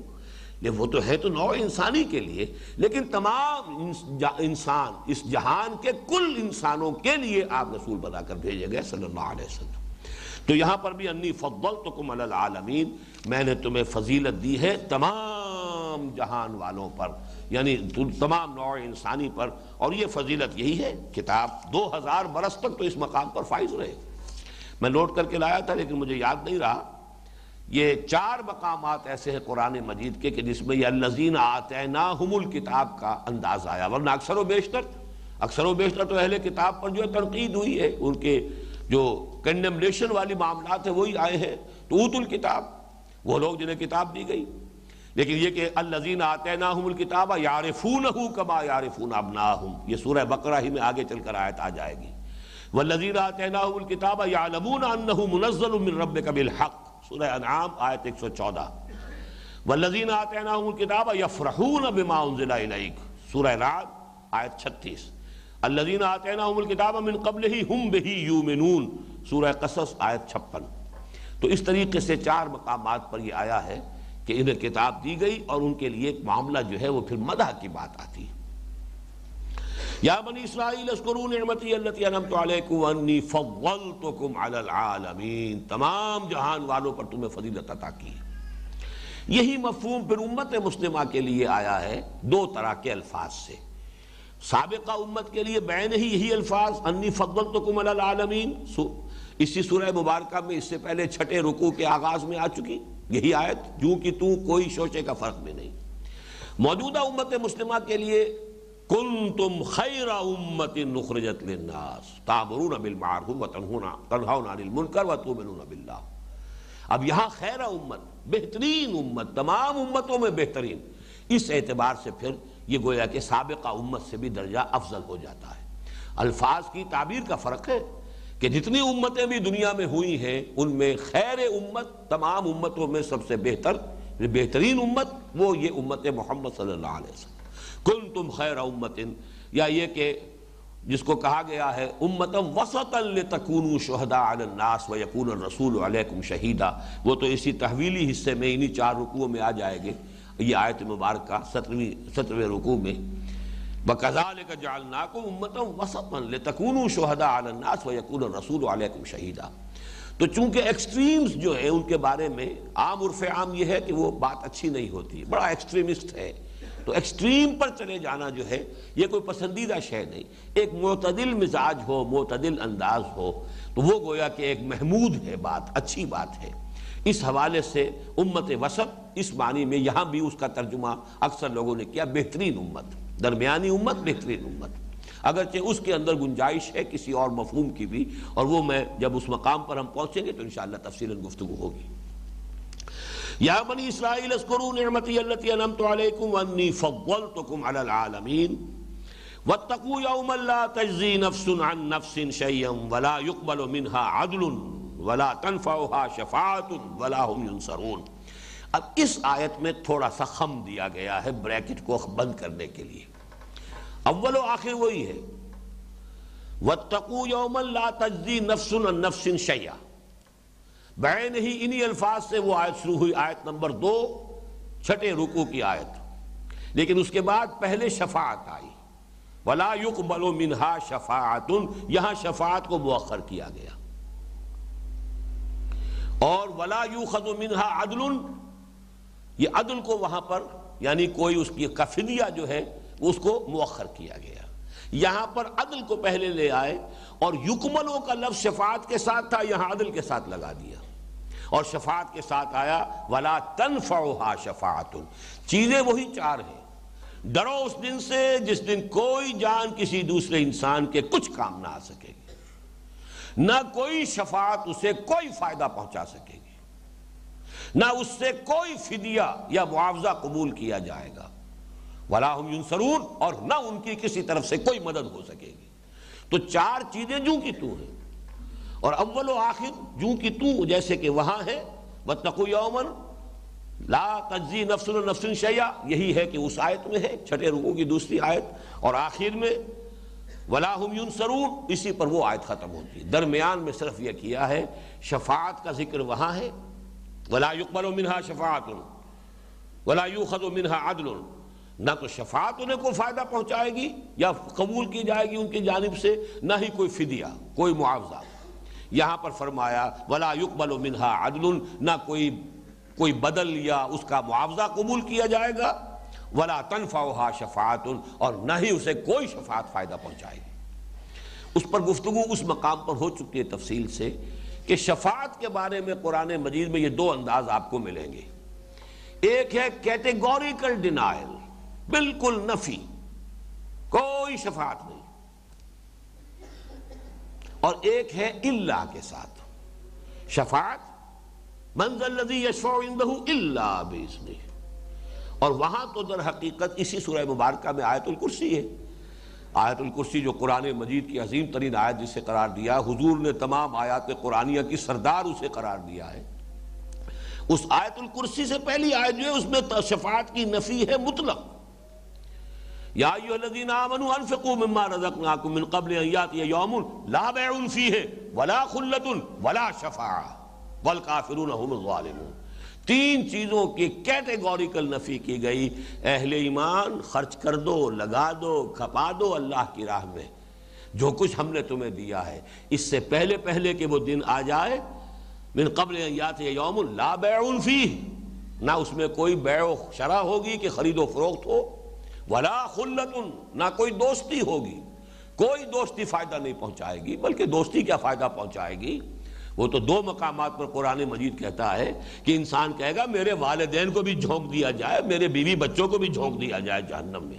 مجھے بچا لیا جائے۔ اب اس سے آگے دوستی کس بلا کا نام ہے؟ جب انسان اپنے قریب ترین عزیزوں کے بارے میں یہ کہے گا۔ سورہ عبس میں بھی موجود ہے اور سورہ معارج میں بھی موجود ہے۔ بالکل واضح الفاظ کے اندر۔ تو اس حوالے سے اس روز کوئی دوستی، کوئی رشتہ داری، کوئی فائدہ نہیں پہنچائے گی۔ ولا شفا نہ کوئی شفاعت ہوگی۔ وہاں شفاعت کی نفی مطلق ہو رہی ہے، کلی۔ یہ ایک انداز ہے، وہی ان دو آیتوں میں ہے۔ وَاتَّقُوا يَوْمًا لَا تَجْزِي نَفْسٌ عَن نَفْسٍ شَيْئًا وَلَا يُقْبَلُ مِنْهَا شَفَاعَةٌ وَلَا يُؤْخَذُ مِنْهَا عَدْلٌ وَلَا هُمْ يُنصَرُونَ وَاتَّقُوا يَوْمًا لَا تَجْزِي نَفْسٌ عَن نَفْسٍ شَيْئًا وَلَا يُقْبَلُ مِنْهَا عَدْلٌ وَلَا تَنفَعُهَا شَفَاعَةٌ وَلَا هُمْ يُنصَرُونَ ایک انداز اللہ کے ساتھ ہے، منزل لذی یشفع عنده الا باذن اور یہ حدیث اور یہ الفاظ جو ہیں اسی آیت الکرسی میں آ گئے ہیں جو اس آیت کے فوراً بعد ہے ہاں اللہ جس کے لیے چاہے گا اور جس کو چاہے گا، شفاعت کی اجازت دے دے گا۔ اس پر گفتگو پھر کریں گے انشاءاللہ اسی مقام پر جب جہاں یہ مضمون زیر بحث آئے گا۔ اس وقت جو اس آیت کا جو اصل ہے، ہر شے کی ایک امپورٹ ہے کنوٹیشن ہے، اس کا ایک تاثر ہے جو قلب پر آنا چاہیے۔ اسی لیے یہ الفاظ آئے ہیں تاکہ قلب پر وہ اس کا، اس کے اثرات وارد ہوں۔ کوئی شفاعت نہیں۔ یہاں تو در حقیقت کیٹیگوریکل نفی ہے۔ وَاتَّقُوا يَوْمًا لَا تَجْزِي نَفْسٌ عَن نَفْسٍ شَيْئًا وَلَا يُقْبَلُ وَلَا يُقْبَلُ مِنْهَا عَدْلٌ۔ عدل جو ہے بدل کو کہتے ہیں، برابر، برابری کی شے۔ یہ خطا ہوئی ہے اس کے برابر، گویا کہ کفارہ یہ میں دے رہا ہوں۔ یہ گناہ ہوا تھا، اس کی گویا کہ برابری کے درجے میں پھر کفارہ ہو جائے گا۔ خاص طور پر سورہ معاہدہ میں جب آیا ہے کہ اگر احرام کی حالت میں اگر کہیں شکار کر بیٹھے انسان، تو اس کا جو پھر ہر جانا ہے، جو کفارہ ہے، وہ اسی جیسا جانور، اسی کی طرح کا۔ اگر کوئی ہرن آپ نے شکار کر لیا، تو کوئی بکری یا بھیڑ یا بیڑا جو ہے، وہ اس کی جگہ پر کفارہ ہو جائے گا، کفارے میں اس کی قربانی دینا جو ہے۔ لیکن اگر نیل گائے کی ہے یا کوئی اور اسی سائز کا جانور، تو پھر گائے دینی پڑے گی۔ اس حوالے سے اس کے بھی برابری کا معاملہ ہوگا۔ تو جتنی بڑی خطا ہے، اتنا ہی بڑا اس کا کوئی جرمانہ یا اس کا کفارہ جو ہے، وہ بھی اس کے برابر ہوگا۔ اس حوالے سے عدل، کسی شے کا کوئی فدیہ، کسی شے کا کوئی بدل، کسی شے کا کوئی معاوضہ، ظاہر بات ہے کہ وہاں معاوضہ کیا ہوگا؟ کسی کے بعد دینے کے لیے کیا ہوگا؟ وہ تو یہ کہ حقوق العباد کے معاملے میں تو حدیث میں آتا ہے کہ وہاں کی کرنسی ہوگی نیکیاں اور گناہ۔ آپ نے کسی کا حق مارا تھا، کسی پر زیادتی کی تھی کسی کی بے عزتی کی تھی، کسی کی آپ نے غیبت کی تھی، کسی پر تہمت لگائی تھی، کسی کا مال ہڑپ کیا تھا۔ تو بہرحال وہ جب آئے گا مدعی بن کر، تو اور تو آپ کے پاس کچھ نہیں ہے۔ آپ کی نیکیاں ہوں گی کہ اس کے حوالے کر دی جائیں گی۔ تم یہ لے جاؤ، تم وہ لے جاؤ۔ وہ حدیث میں نے بارہ بیان کی ہے کہ حضور نے اس بات کو سمجھانے کے لیے بڑا پیارا انداز اختیار کیا، پہلے سوال کیا۔ اتدرون من المفلس؟ کیا آپ لوگ جانتے ہیں مفلس کسے کہتے ہیں؟ مفلس کون ہوتا ہے؟ یہ انداز تھا حضور کا۔ سادہ سی بات ہے، لیکن سوال کیا ہے تو لوگ چونک گئے نا، کوئی خاص بات معلوم ہوتی ہے۔ مفلس کے معنی پوچھ رہے ہیں۔ پھر انداز یہ تھا کہ سب نے جو جواب دیا وہ یہی تھا۔ المفلس و عندنا من لا درہم لہو ولا دینار ہے حضور، ہمارے نزدیک تو مفلس وہی ہوتا ہے جس کے پاس درہم و دینار نہیں، روپیہ پیسہ نہیں۔ آپ نے فرمایا نہیں۔ میری امت کا مفلس وہ ہوگا کہ جب قیامت کے دن حاضر ہوگا تو نمازیں بھی بہت سی لے کر آئے گا، روزے لے کر آئے گا، عبادات لے کر آئے گا۔ ایگزیکٹ الفاظ اب مجھے نہیں ہے یاد، میں اس کی وضاحت کو یاد کر رہا ہوں کہ فرض کیجیے بہت سے عمرے کیے ہیں، بہت سے حج کیے ہیں۔ ڈھیروں حج، ڈھیروں عمرے۔ وقد شتم حاضہ و اکلا مال حاضہ اس شخص کی اس نے اس کو گالی دی تھی، اس کی بے حرمتی کی، اس کی بے عزتی کی، اس کا مال غلط طریقے پر، حرام طریقے پر ہڑپ کر لیا۔ اب جب مدعی آئیں گے تو کسی کو اس کی نمازیں دے دی جائیں گی، لو بھائی اس کی نمازیں لے جاؤ۔ یہی ہے یہاں پر۔ یا یہ کسی کو اس کے روزے دے دیے جائیں گے۔ ساری نیکیاں ختم ہو جائیں گی، مدعی باقی ہوں گے۔ جنہیں دنیا میں عادت ہوتی ہے اس قسم کی۔ غیبت کرنے کی عادت ہی پڑی ہوئی ہے تو یہ تو سویٹ ڈش ہے۔ ہر کھانے کے بعد جو ہے بڑی لذیذ ہوتی ہے ڈش۔ وہ تو کرتے ہی رہیں گے، پھر کوئی ایک آدھ مرتبہ کی بات تو نہیں ہے۔ مدعی آئیں گے وہ ساری عبادتوں کا ان کا جو ہے وہ انبار ختم ہوا۔ اس کے باوجود ابھی مدعی باقی ہوں گے۔ تو اب ریورس گیئر لگے گا۔ ان کے گناہ اس کے کھاتے میں ڈلنے شروع ہوں گے، اس کے اعمال کے پلڑے کے اندر۔ بھائی تمہاری یہ خطا تھی، یہ غلطی تھی، یہ گناہ تھی۔ گناہ تم نے کیا تھا، اس نے تم پر یہ جاتی کی تھی، تمہارا یہ گناہ اس کے حساب میں ڈالتے۔ ہیں یہاں تک کہ وہ دوسروں کے گناہوں کے بوجھ تلے گر کر اور دب کر جہنم میں جھونک یہ معاملہ ہے جو کہ بین الانسانی معاملات ہیں، معاملات کے ضمن میں۔ جو بھی کوتاہیاں ہوں گی، وہ تو لازمن اس کا جو ہے ڈیبٹ، کریڈٹ کا معاملہ ہو کر رہے گا اور وہ ہوگا صرف نیکیوں اور گناہوں کا تبادلہ۔ اس کے سوا وہاں کوئی اور کرنسی نہیں۔ باقی یہ ضرور ہے کہ اللہ تعالیٰ نے بڑی شفقت اور رحمت فرمائی ہے۔ جہاں تک اپنے حقوق کا معاملہ فرمایا کہ وہ میں معاف کر دوں گا۔ اگر شرک نہیں ہے ایک شخص سے خطا ہو رہی ہے۔ اللہ تعالیٰ ان اللہ لا یغفر و یشرا کا بھی۔ اسے تو ہرگز نہیں بخشے گا کہ شرک کرے اس کے ساتھ۔ لیکن یہ کہ اس سے کم تر جو بھی خطائیں ہیں، ایک شخص ہے، کم ہمت انسان ہے، قوت ارادی کمزور ہے، کسی شے کو چھوڑنا چاہتا، نہیں چھوڑ پا رہا۔ نماز پڑھنا چاہتا ہے، پھر بھی کبھی رہ گئی ہے، کوئی اس میں کمی رہ گئی ہے۔ یہ جو حقوق اللہ کے معاملات ہیں، اس میں اللہ تعالیٰ جو ہے بہرحال خوردہ گیری کا معاملہ اس میں اللہ نہیں کریں گے۔ بلکہ اللہ تعالیٰ کی طرف سے اس کے بارے میں یغفر و مادون ازال کرے اس سے کم تر جو گناہ ہے وہ جس کو چاہے گا اللہ تعالیٰ بخش دے گا۔ لیکن حقوق العباد اللہ تعالیٰ معاف نہیں فرمائیں گے، وہاں تو در حقیقت لین دین ہو کر رہے گا۔ بہرحال، ان دو آیات پر، کہ جن دو آیات سے یہ سلسلہ کلام شروع ہوا تھا، چھٹے رکو سے۔ دوبارہ تازہ کر لیجیے، اب صرف ایک دو منٹ باقی ہیں، تاکہ پھر جو اصل تحویلی مضمون ہے وہ ہم اب اگلے ہی سیشن سے شروع کریں کہ یہ جو سورہ بقرہ میں چار رکو تمہیدی، جن میں سے پہلے دو تین قسم کے انسانوں کے کردار کا نقشہ پیش کر دیا گیا۔ وہ لوگ جو قرآن پر ایمان لائے، جنہوں نے اس سے استفادہ کیا۔ ان کے کیا ہے خد و خال؟ ان کی سیرت کے کردار کے وہ واضح کیے گئے۔ وہ لوگ جو کفر پر اڑ گئے ان کا معاملہ صرف ایک دو آیتوں کے اندر بیان کر دیا۔ پھر تفصیل سے گفتگو ہوئی ہے وہ کہ جو کہتے تو ہیں کہ ہم ایمان لاتے ہیں۔ وَمِنَ النَّاسِ مَنْ يَقُولُ آمَنَّا بِاللَّهِ وَبِالْيَوْمِ الْآخِرِ وَمَا هُمْ بِمُؤْمِنِينَ، وہ مومن نہیں۔ انہی میں منافقین تھے، انہی میں سے کچھ یہودی تھے جو مدعی تھے کہ بھارا ہم بھی مومن ہیں، ہمیں بھی مومن تسلیم کرو۔ ہم بھی اللہ کی توحید کو تسلیم کرتے ہیں، سینکڑوں نبیوں کے ماننے والے ہیں۔ چلیے، زیادہ زیادہ یہی ہے نا کہ ہم نے صرف محمد کو نہیں مانا صلی اللہ علیہ وسلم۔ لیکن یہ کہ آپ ہمیں اٹھانوے فیصد مسلمان مان لیں، ننانوے فیصد مان لیں، پچانوے فیصد مان لیں، ماننا تو پڑے گا۔ تو ان دونوں پر وہ رکو جو ہے، دوسرا وہ اپلیکیبل ہے۔ پھر تیسرے اور چوتھا رکو یہ قرآن مجید کی دعوت اور اس کے فلسفے پر۔ یوں سمجھئے کہ مکی قرآن کا لب لباب۔ تیسرے رکو میں دعوت۔ اور چوتھے رکو میں فلسفہ قرآن، فلسفہ خلافت خلافت کی بنیاد، خیر و شر کی کشاکش جو دنیا میں رہی ہے۔ ابلیس اور اس کی ضروریت معنوی و سلبی اور حضرت آدم اور ان کی اولاد کے درمیان جو مخاسمت جو دشمنی ازل سے چلی آ رہی ہے اور قیامت تک جاری رہنی ہے۔ اس کی بنیاد، یہ سارا جو ہے چوتھے رکو پانچویں رکو سے شروع ہو گیا خطاب سابقہ امت مسلمہ سے۔ لیکن پہلا رکو پانچواں، وہ دعوت پر مشتمل ہے اور وہ سات آیات کسی بھی سابقہ امت مسلمہ کو دعوت دینے کے لیے، مسلمانوں میں تجدید ایمان کی دعوت برپا کرنے کے لیے وہ گویا کہ ہمارے لیے سب سے زیادہ نمایاں ایک ہدایت، جامع ترین ہدایت ہے۔ اس کے بعد چھٹے رکو سے لے کر اور یہ پندرہویں رکو کی دو ابتدائی آیات تک، یہ نو سوا نو رکو یہ ہے ملامت کا حصہ۔ ان پر جو بھی قرارداد فرد جرم جو ہے وہ عائد کی گئی ہے، یہ یہ تمہاری غلطیاں، یہ تمہاری گمراہیاں، یہ عقیدے کی، یہ عمل کی، یہ تمہاری ناشکریاں، اس کے نتیجے میں تمہیں معذول کیا گیا اس مقام سے جس پر تم دو ہزار برس تک فائز رہے ہو۔ پھر نوٹ کر لیجیے سن کے حساب سے تقریباً چودہ سو قبل مسیح میں تورات عطا کی گئی ہے۔ اور چھ سو دس عیسوی میں حضرت عیسیٰ کے چھ سو درس بعد چھ سو برس بعد قرآن کا نزول شروع ہوا ہے۔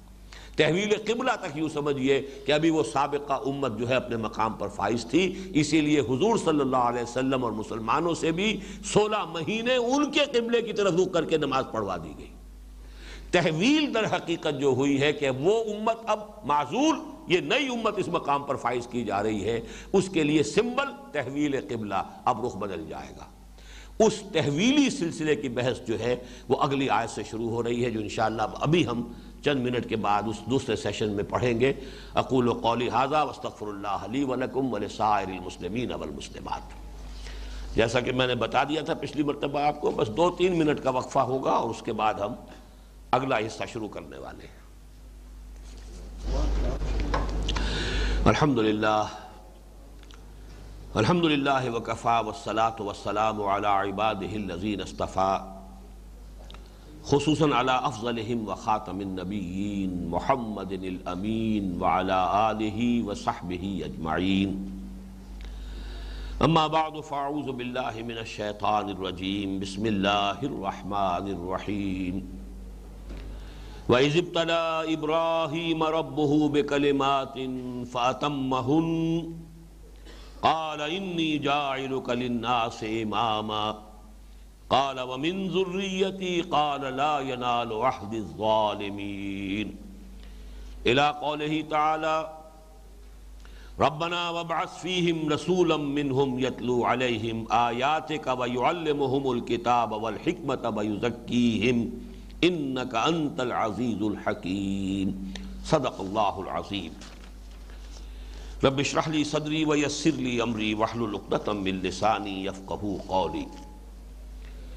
اللہم ربنا الہمنا رشدنا وعزنا من شرور انفسنا اللہم ارنا الحق حقا ورزقنا اتباعه وارنا الباطل باطلا ورزقنا اجتنابه.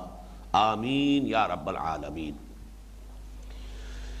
جیسے کہ بہت مرتبہ عرض کیا جا چکا ہے سورہ بقرہ کے نصف اول کا یہ تیسرا حصہ ہے۔ جو ہم کہیں گے عمومی انداز میں تو چار رکوعوں پر مشتمل ہے، اگرچہ اس میں سے دو آیتیں منہا کرنی ہوں گی۔ اس لیے کہ بارہا میں عرض کر چکا ہوں کہ جو رکوعوں کا، کی جو تقسیم ہوئی ہے، یہ حضور کے زمانے میں نہیں تھی۔ یہ تقسیم بعد میں ہوئی ہے، بنو امیہ کا ابتدائی دور۔ اور حجاج ابن یوسف، جو ویسے تو بہت بدنام شخص تھا بہت ظالم اور جابر انسان تھا۔ بہت سے تابعین جو ہے، نہایت جو صالحین میں سے تھے، ان کو اس نے شہید کیا ہے۔ وہ سیاسی مقاصد کی بنا پر۔ بہرحال بعض خدمات بھی اس کی ہیں۔ جیسا کہ پچھلے ہی نشست میں بعض زیر بحث آئی تھی، جس میں جو خیر ہے اس کو بھی مانیے، جو شر ہے اس کو بھی پہچانیے۔ تو بہرحال قرآن مجید کے ضمن میں اس کی ایک خدمت بڑی عجیب ہے۔ جیسے یہ خدمت جو ہے ہمارے اس دور میں بھی جو جمال عبد الناصر مصر کے صدر تھے، ان کے ہاتھوں یہ اللہ تعالیٰ نے خدمت جو ہے قرآن مجید کی کروا لی۔ ویسے بہرحال ان کے جو بھی نظریات تھے، جو افکار تھے، عروبہ، عربزم، عرب نیشنلزم اس کے بہت بڑے پرچارک تھے۔ کہتے ہیں کہ انہوں نے یہ نعرہ بھی لگایا تھا ابناء الفرائنا بڑے فخر کے ساتھ ہم فرعونوں کی نسل سے۔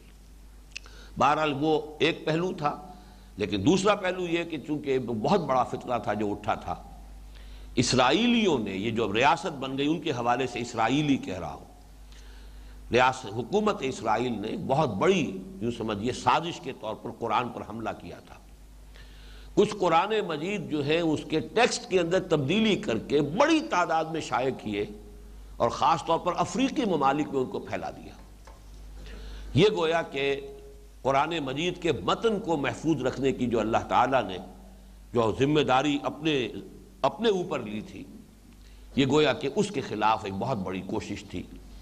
ظاہر ہے کہ اگر وہ برقرار رہ جائے، کچھ عرصے کے بعد، دس پندرہ سال کے بعد کوئی شخص کہے گا، لو جی قرآن، یہ قرآن بھی تو آخر یہ بھی چھپا ہوا ہے نا، اس کے اندر تو یوں لکھا ہے۔ وہ جو ایک سرٹنٹی ہے قرآن مجید کی اور اس کے ٹیکسٹ کے بارے میں یہ ہے کہ وہ کرپٹ نہیں ہوا ہے۔ انٹیگریٹی اس کی کرپٹ اس کے ٹیکسٹ کی، وہ تو ساری بات ختم ہو جاتی۔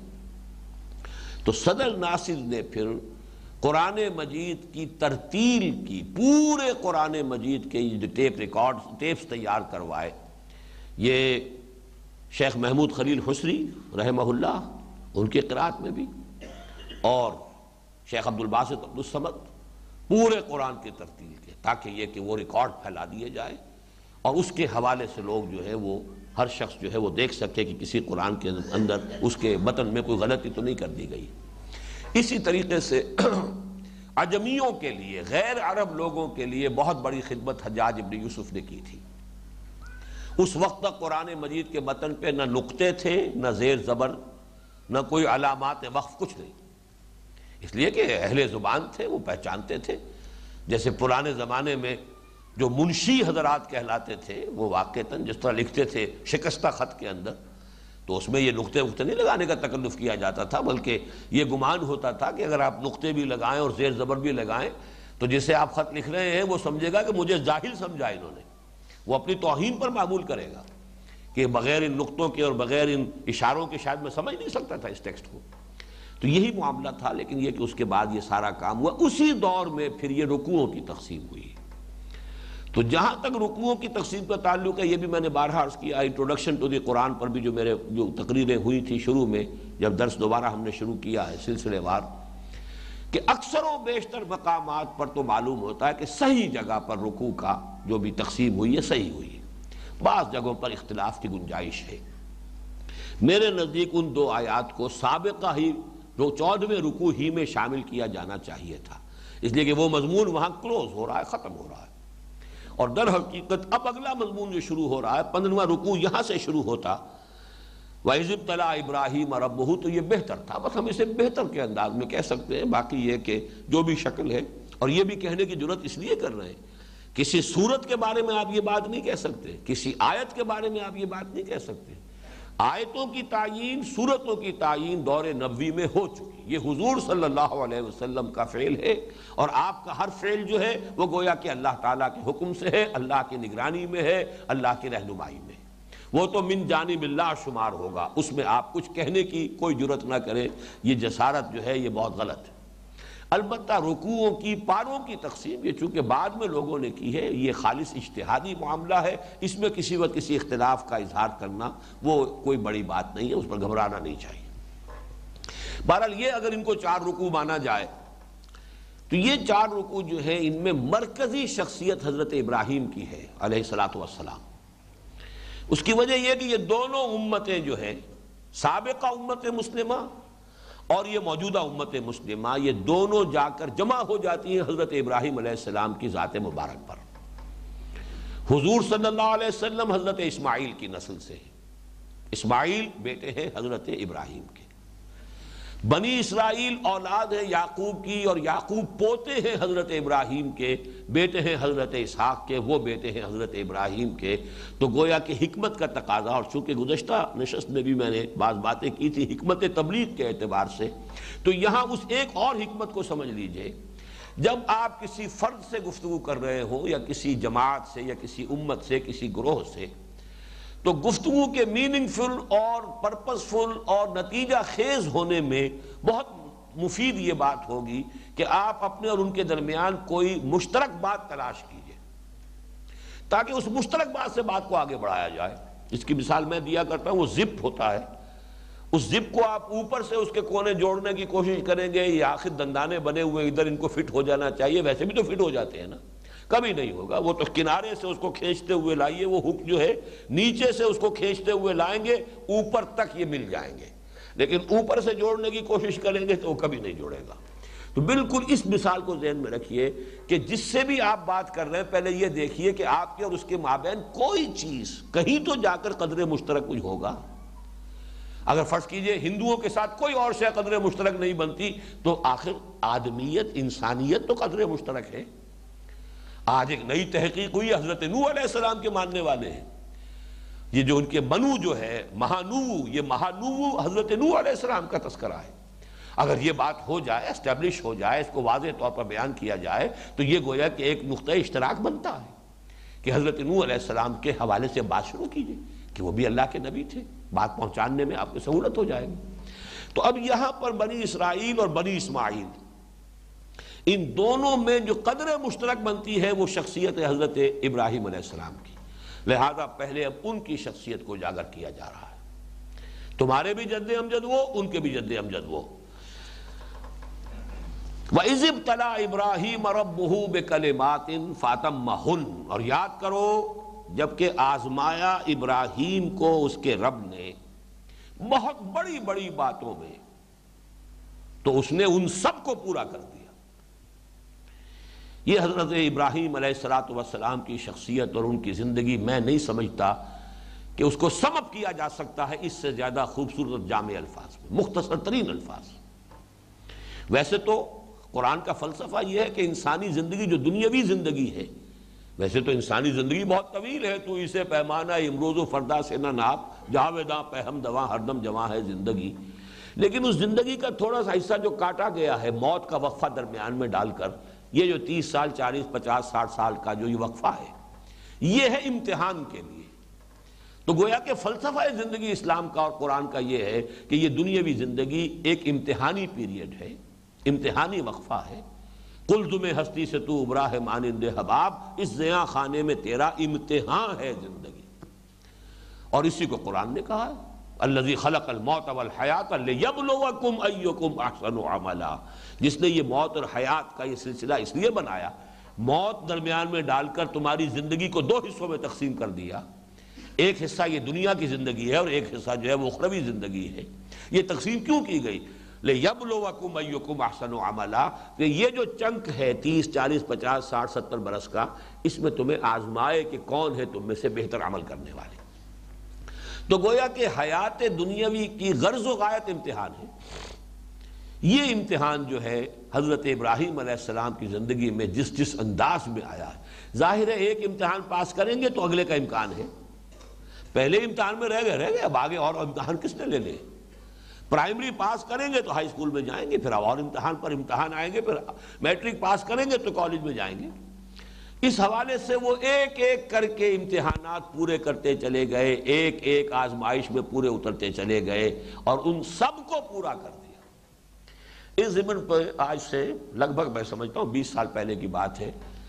وہ چند میری تحریریں جو مجھے بھی پسند ہے جن میں ایک انداز جو ہے، وہ آورد کا نہیں، آمد کا ہے۔ وہ چند ہی تحریریں ہیں، جن میں ایک صورت العصر کا جو کتاب چاہ میرا، اس میں بھی آپ نے دیکھا ہوگا کہ ایک میری تحریر ہے۔ تحریر میں تو یقیناً جو ہے، وہ آورت کا رنگ ہوتا ہے، آدمی سوچتا ہے، سوچ کر لکھتا ہے۔ اور ایک تقریر ہو، تقریر جو ہے، اس کے اندر ایک آمد کا انداز ہوتا ہے۔ لیکن بعض اوقات تحریر جو ہوتی ہے اس کے اندر بھی آمد۔ تو صورت العصر پر میری تحریر جو ہے اس کتابچے میں، وہ اس میں مجھے بھی وہ بہت پسند ہے، آمد کا انداز ہے۔ ایک روانی کے ساتھ ایک خیالات آتے ہیں، غیب سے یہ خیال، جو یہ مضامی خیال میں اور غالب سریر خامہ نوائے فروش، خروش ہے۔ تو یہ اسی انداز میں ہے کہ وہ باتیں اسی طرح کی ایک تحریر ہے میری حضرت ابراہیم علیہ السلام کے بارے میں۔ اور عجیب اتفاق ہے کہ یہاں بھی ایک کتاب چاہے اس میں ایک تقریر بھی ہے میری، حج کی حکمت کیا ہے اور اور عید الاضحیٰ کی حکمت کیا اور ایک وہ تحریر جو ہے وہ مجھے بہت پسند ہے۔ بہت مختصر، لیکن حضرت ابراہیم علیہ السلام کی زندگی میں امتحانات جس تدریج اور ترتیب سے آئے ہیں اللہ تعالیٰ نے خاص وقت میں جس کے لیے میرے ذہن کو کھولا، دل کو کھولا، قلم کو کھولا رواں کیا، اور وہ بات بڑی خوبصورتی سے وہاں بیان ہو گئی، میں اس کا حوالہ دے رہا ہوں کہ وہ اس ایک آیت کی گویا کے شرح ہے۔ اب جو مجھے یاد آ رہا ہے، ابھی حال میں تو میں نے نہیں پڑھا ہے اسے، کہ سب سے پہلا امتحان ہے عقل اور فطرت کا امتحان۔ یہ جو عقل انسانی، فطرت انسانی، یہ جو اللہ تعالیٰ نے دے کر بھیجا ہے دس از دی گیون ہر انسان کے لیے۔ لیکن یہ کہ اس عقل و فطرت کا امتحان کیا ہے؟ اس مادی دنیا میں رہتے ہوئے، غیب کے پردوں میں، جبکہ حقائق اصل جو ہے ہماری نگاہوں سے چھپے ہوئے ہیں، غیب کا پردہ ہمارے اور ان کے درمیان حائل ہے۔ اور پھر یہ کہ جیسا ماحول ہوگا، اس کے اعتبار سے عقل کا یہ امتحان اور مشکل سے مشکل تر ہو جائے گا۔ حضرت ابراہیم کے زمانے میں یوں سمجھئے کہ ظلمات فوق باس ہر نو کا شرک موجود تھا۔ بت پرستی کا شرک موجود، ستارہ پرستی کا شرک موجود۔ پھر وہ جو سیاسی شرک ہے، بادشاہ کہہ رہا ہے کہ میں خدا ہوں ساورنٹی کا تصور۔ یہ جو سیاسی شرک ہے، یہ بھی پورے طور پر موجود۔ ہر طرح کا شرک موجود۔ اور اس ماحول میں اس نوجوان کی آنکھ کھلی ہے۔ اس نے اپنے عقل اور شعور اور اپنی فطرت کے اشاروں اور اپنی خود جو انسان، ان کی روح کی گہرائیوں میں جو شہادتیں تھیں، ان کو ریڈ کیا ہے اور توحید خالص تک پہنچ گئے۔ انی وجہت وجہی للذی فطر السماوات والارض حنیفا ہر طرف سے یکسو ہو کر کوئی معبود نہیں، کوئی اور نہیں عبادت کے لائق۔ میں نے تو یکسو ہو کر اپنا رخ اس ہستی کی طرف کر دیا ہے جس نے آسمان اور زمین کی تخلیق فرمائی۔ پہلے امتحان میں کامیاب ہو گئے، عقل اور فطرت کا امتحان پاس کر لیا۔ اس کے بعد اب آتا ہے ہمت، عظیمت اور ارادے کا امتحان۔ کتنے پانی میں ہے آدمی؟ سلابت کردار کتنی کچھ ہے؟ کوئی موم کی ناک ہے کہ جو جدھر چاہے موڑ دے حالات کے دباؤ سے خم کھا جانے والا ہے یا خم ٹھوک کر برے سے برے حالات کے اندر کھڑے رہنے والا ہے؟ یہ ہے امتحان، پے بپے امتحان ہوئے۔ موب کو فیس کیا ہے۔ سارے بت ان کے توڑ کر رکھ دیے ریزا ریزا چور چور کر دیا۔ اب جو موب آیا ہے، اسے فیس کیا ہے۔ اور فیس ہی فیس نہیں کیا، چپ کرا دیا ہے۔ فرجعو الى انفسہم ایک کو چونکہ چھوڑ دیا تھا، حکمت یہ بڑھتی ایک کو رہنے دیا، صحیح و سالم، بڑا جو تھا ان میں سے۔ اور وہ تیشا جن سے سب کو توڑا تھا، وہ بھی اس کے کندھے کے اوپر لٹکا دیا۔ اب وہ آئے ہیں پوچھو اس سے۔ سرکمسٹانشل ایویڈنس تو یہ بتا رہا ہے کہ اس نے توڑا ہے۔ اس لیے کہ جو آلہ جو واردات ہے، وہ بھی اس کے پاس سے برآمد ہو رہا ہے، اس کے کندھے کے اوپر رکھا ہوا ہے۔ پوچھو اس سے۔ اب ان کا تم جانتے ہو، یہ بولتے نہیں۔ اف لکم بلے ما تعبدون۔ اب کہا، حملہ کیا ہے۔ تو تف ہے تم پر اور تمہارے معبودوں پر۔ جو بول نہ سکے، جو بات نہ کر سکے، جو اپنے آپ کو ڈیفینڈ نہ کر سکے، ان کو تم نے خدا سمجھا ہوا۔ لیکن اس کے لیے کتنی جرت کی ضرورت تھی، کتنی ہمت کی ضرورت تھی۔ یہ کلمہ جو ہے، اس کو کہہ دینا بڑی جرت رندانہ کی بات ہے۔ اور اس موب کے سامنے، ذرا تصور کیجیے، ہندوستان میں، متھرا میں، بنارس میں، کسی اور جگہ ایسا کوئی حادثہ ہو جائے، کیا ہوگا اس وقت؟ قیامت برپا ہوگی۔ پھر باپ سے آپ نے کہا واجرنی ملیا میری نگاہوں سے دور ہو جاؤ، ورنہ میں رجم کر دوں گا۔ گھر بار چھوڑا، دربار میں پیشی ہوئی، وہاں آنکھوں میں آنکھیں ڈال کر بات کی ہے۔ حاج ابراہیم فی ربہ ان آتا اللہ الملک۔ اب شہنشاہ کا جبروت اس کی اس کی شان و شوکت اور یہ اللہ کا بندہ کھڑا ہے۔ لیکن جیسے آنکھوں میں آنکھیں ڈال کر بات کی ہے محاجہ کیا ہے حجت پوری کی پوری جو ہے دلائل کے ساتھ اس کی بات کو غلط ثابت کیا ہے۔ جس کا نتیجہ پھر یہ نکلا جیسے وہ موب ہکا بکا ہو کے رہ گیا تھا، جواب کیا دیں ہم اس کو؟ اپنے دلوں میں جھانکا انہوں نے، بات تو یہی ٹھیک کہہ رہا ہے، تم ہو غلط راستے پر۔ لیکن بہرحال ماننا تو نہیں ہے اس کو۔ اسی طرح وہ نمرود جو ہے فبوہت الزی کفر، مبہوت ہو کر رہ گئے۔ اچھا خدائی کا دعویٰ ہے۔ تو میرا رب وہ ہے جو سورج کو مشرق سے نکالتا تم مغرب سے نکال کے دکھاؤ۔ اب یہ کہ وہ دلیل کیا تھی، مناظرہ، ایک فن مناظرہ جو ہے اپنی جگہ پر ایک علیحدہ شہ ہے۔ وہ یہ ہے کہ آپ خسم خسم کہلاتا ہے مناظرے کے اندر خسم دشمن کو کہتے ہیں۔ کہ خسم کو چپ کرانا ہے، اصل میں مناظرہ میں قائل کرنا پیش نظر نہیں ہوتا۔ کوئی مناظر کبھی اپنے اس خسم کو جو اس کے مقابلے میں آیا ہوا ہے، اسے قائل کرنے کی کوشش نہیں کرتا۔ قائل کرنے کی کوشش کرے گا، مار کھا جائے گا۔ وہاں تو یہ چپ کرنا ہے اس کو۔ وہ چپ کرنے والی بات تھی، فبوہت النبی کا ایک بات میں تو اس نے کہا، جب حضرت ابراہیم نے فرمایا، میرا رب وہ ہے جو زندہ رکھتا ہے اور مارتا ہے۔ ربی الزی یوہی و امید کہا اچھا لو میں کر کے دکھاتا ہوں۔ دو آدمی جو ہے قید خانے سے بلوائے، دونوں قیدی تھے۔ دونوں کو سزائے موت کا حکم ہو چکا تھا۔ ایک کو کہا، میرا اختیار ہے، چلو جاؤ تمہیں تمہیں میں نے معاف کیا، تمہیں زندہ رکھا۔ دوسرے کی گردن اسی میں توڑوا دی۔ دیکھو، میں نے جس کو چاہا زندہ رکھا، جس کو چاہا مارا۔ اب اس کے بعد آخری بات، ترب کا پتہ کہیے ٹھیک ہے، پھر میرا رب وہ ہے جو سورج کو مشرق سے نکال رہا ہے۔ فاتح من المغرب فبوہت اللذی کا پھر جو بات ہوئی ہے ڈالیے اس کو، آگ کے اندر ڈالو، جلاؤ، اس کو پتہ چل جائے گا، ہوش ٹھکانے آ جائیں گے۔ اور اس کا ایک نقطہ بہت کم لوگوں پر واضح ہے۔ قرآن مجید یہ کہتا ہے کہ اس پر بھی وہی لوگ جو ہے ناکام ہوئے، کیوں ناکام ہوئے؟ کس کس بات میں ناکام ہوئے؟ ان کا مقصد کیا تھا؟ وہ یہ سمجھ رہے تھے کہ جب دیکھے گا وہ آگ دہتی ہوئی تو سب نشہ ہرن ہو جائے گا، توحید واحد کا یہ سارا جو ہے، جب موت نظر آئے گی، دہتی ہوئی بٹی نظر آئے گی، تو اس وقت جو ہے یہ سب ختم ہو جائے گا معاملہ۔ رجوع کرے گا، توبہ کرے گا۔ لیکن بے خطر کود پڑا، آتش نمرود میں عشق، عقل ہے، محو تماشائے، لبے بام ابھی۔ ناکام ہو گئے۔ بہرحال اللہ نے جو کیا اپنی قدرت سے، اس کو جس طریقے سے یا نارکونی بردن و سلامن علی ابراہیم۔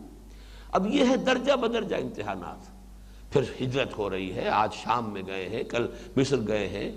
لیکن ان امتحانات کا آخری ہے وہ جو، جس کے بعد میں سمجھتا ہوں کہ یہ بات کہی جا رہی ہے۔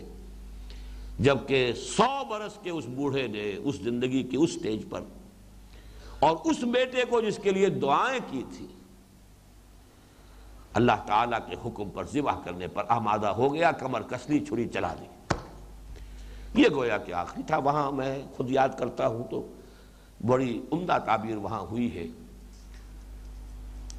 اللہ تعالیٰ کی طرف سے پھر کہ ممتحن کو بس کرنی پڑی ہے، جس کا امتحان لیا جا رہا تھا، اس نے بس نہیں کی۔ ابراہیم قد صدقت رویا انا کذالک نجد المحسنین ممتحن کی بس ہوئی ہے۔ جس کا امتحان لیا جا رہا تھا، اس کی ہمت میں کوئی کوئی کمی نہیں تھی۔ یہ ہے وہ پورا سلسلہ۔ فرمایا، وَإِذِ ابْتَلَا إِبْرَاهِيمَ رَبُّهُ بِكَلِمَاتٍ۔ اب اس کو تفسیری اعتبار سے نوٹ کر لیجیے کلماتن یہ نکرہ جو ہے یہاں پر تفخیم کے لیے بہت بڑی بڑی باتوں میں آزمایا۔ ایک سے ایک امتحان، کٹھن سے کٹھن تر، مشکل سے مشکل تر۔ فاتم اس نے ان سب کو پورا کر دیا، سب میں پورا اترا۔ قال، انی جائلک للناس اماما۔ فرمایا، اے ابراہیم، اب میں تمہیں نوع انسانی کا امام بنانے والا امامت کے منصب پر فائز۔ یہ لفظ ذرا نوٹ کیجیے، امامت اور خلافت۔ اسی سورہ بقرہ کا وہ جو تمہیدی حصہ تھا، اس میں خلافت کا تذکرہ ہے یا امامت۔ ابراہیم کو خلافت کا زیادہ تعلق دنیا میں حکومت اور غلبے اور اقتدار سے ہے۔ امامت کا زیادہ تعلق ہدایت، علم اور معرفت سے ان دونوں چیزوں کو علیحدہ علیحدہ نوٹ کر لیجیے ابراہیم کی کہیں کوئی حکومت قائم نہیں ہوئی۔ ابراہیم کی وہ حیثیت جو خود ان کی اپنی نسل کے اندر آگے چل کر داود اور سلیمان کی ہو گئی علیہ السلام، وہ حضرت ابراہیم کی کبھی نہیں ہوئی۔ امامت یہاں پر در حقیقت سمجھئے کہ امامت کا تعلق ہے عقلی، علمی، روحانی رہنمائی، ہدایت، علم اور معرفت کے اندر لوگوں کے امامت، اصل امامت یہ ہے۔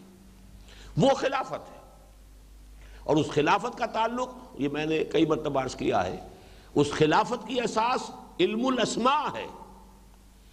جس کے پاس یہ دنیاوی علم زیادہ ہوگا وہ بہرحال دنیا میں غالب رہے گا۔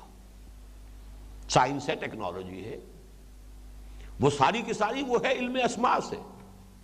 جب خلافت کا معاملہ ہوا ہے، تو جو بحث ہوئی ہے، اس پر جو اللہ تعالیٰ کی طرف سے فرشتوں کو جو بھی ان کا اشکال تھا یا اشتباہ تھا یا شبہ تھا، اس کا جو بھی ازالہ کرنے کی شکل اختیار کی گئی، وہ کیا تھی؟ وَعَلَّمَ آدَمَ الْأَسْمَاءَ كُلَّهَا ثُمَّ عَرْضَهُمْ عَلَى الْمَلَائِكَةِ فَقَالَ أَنْبِئُونِي بِأَسْمَاءِ هَؤُلَاءِ إِن كُنتُمْ صَادِقِينَ۔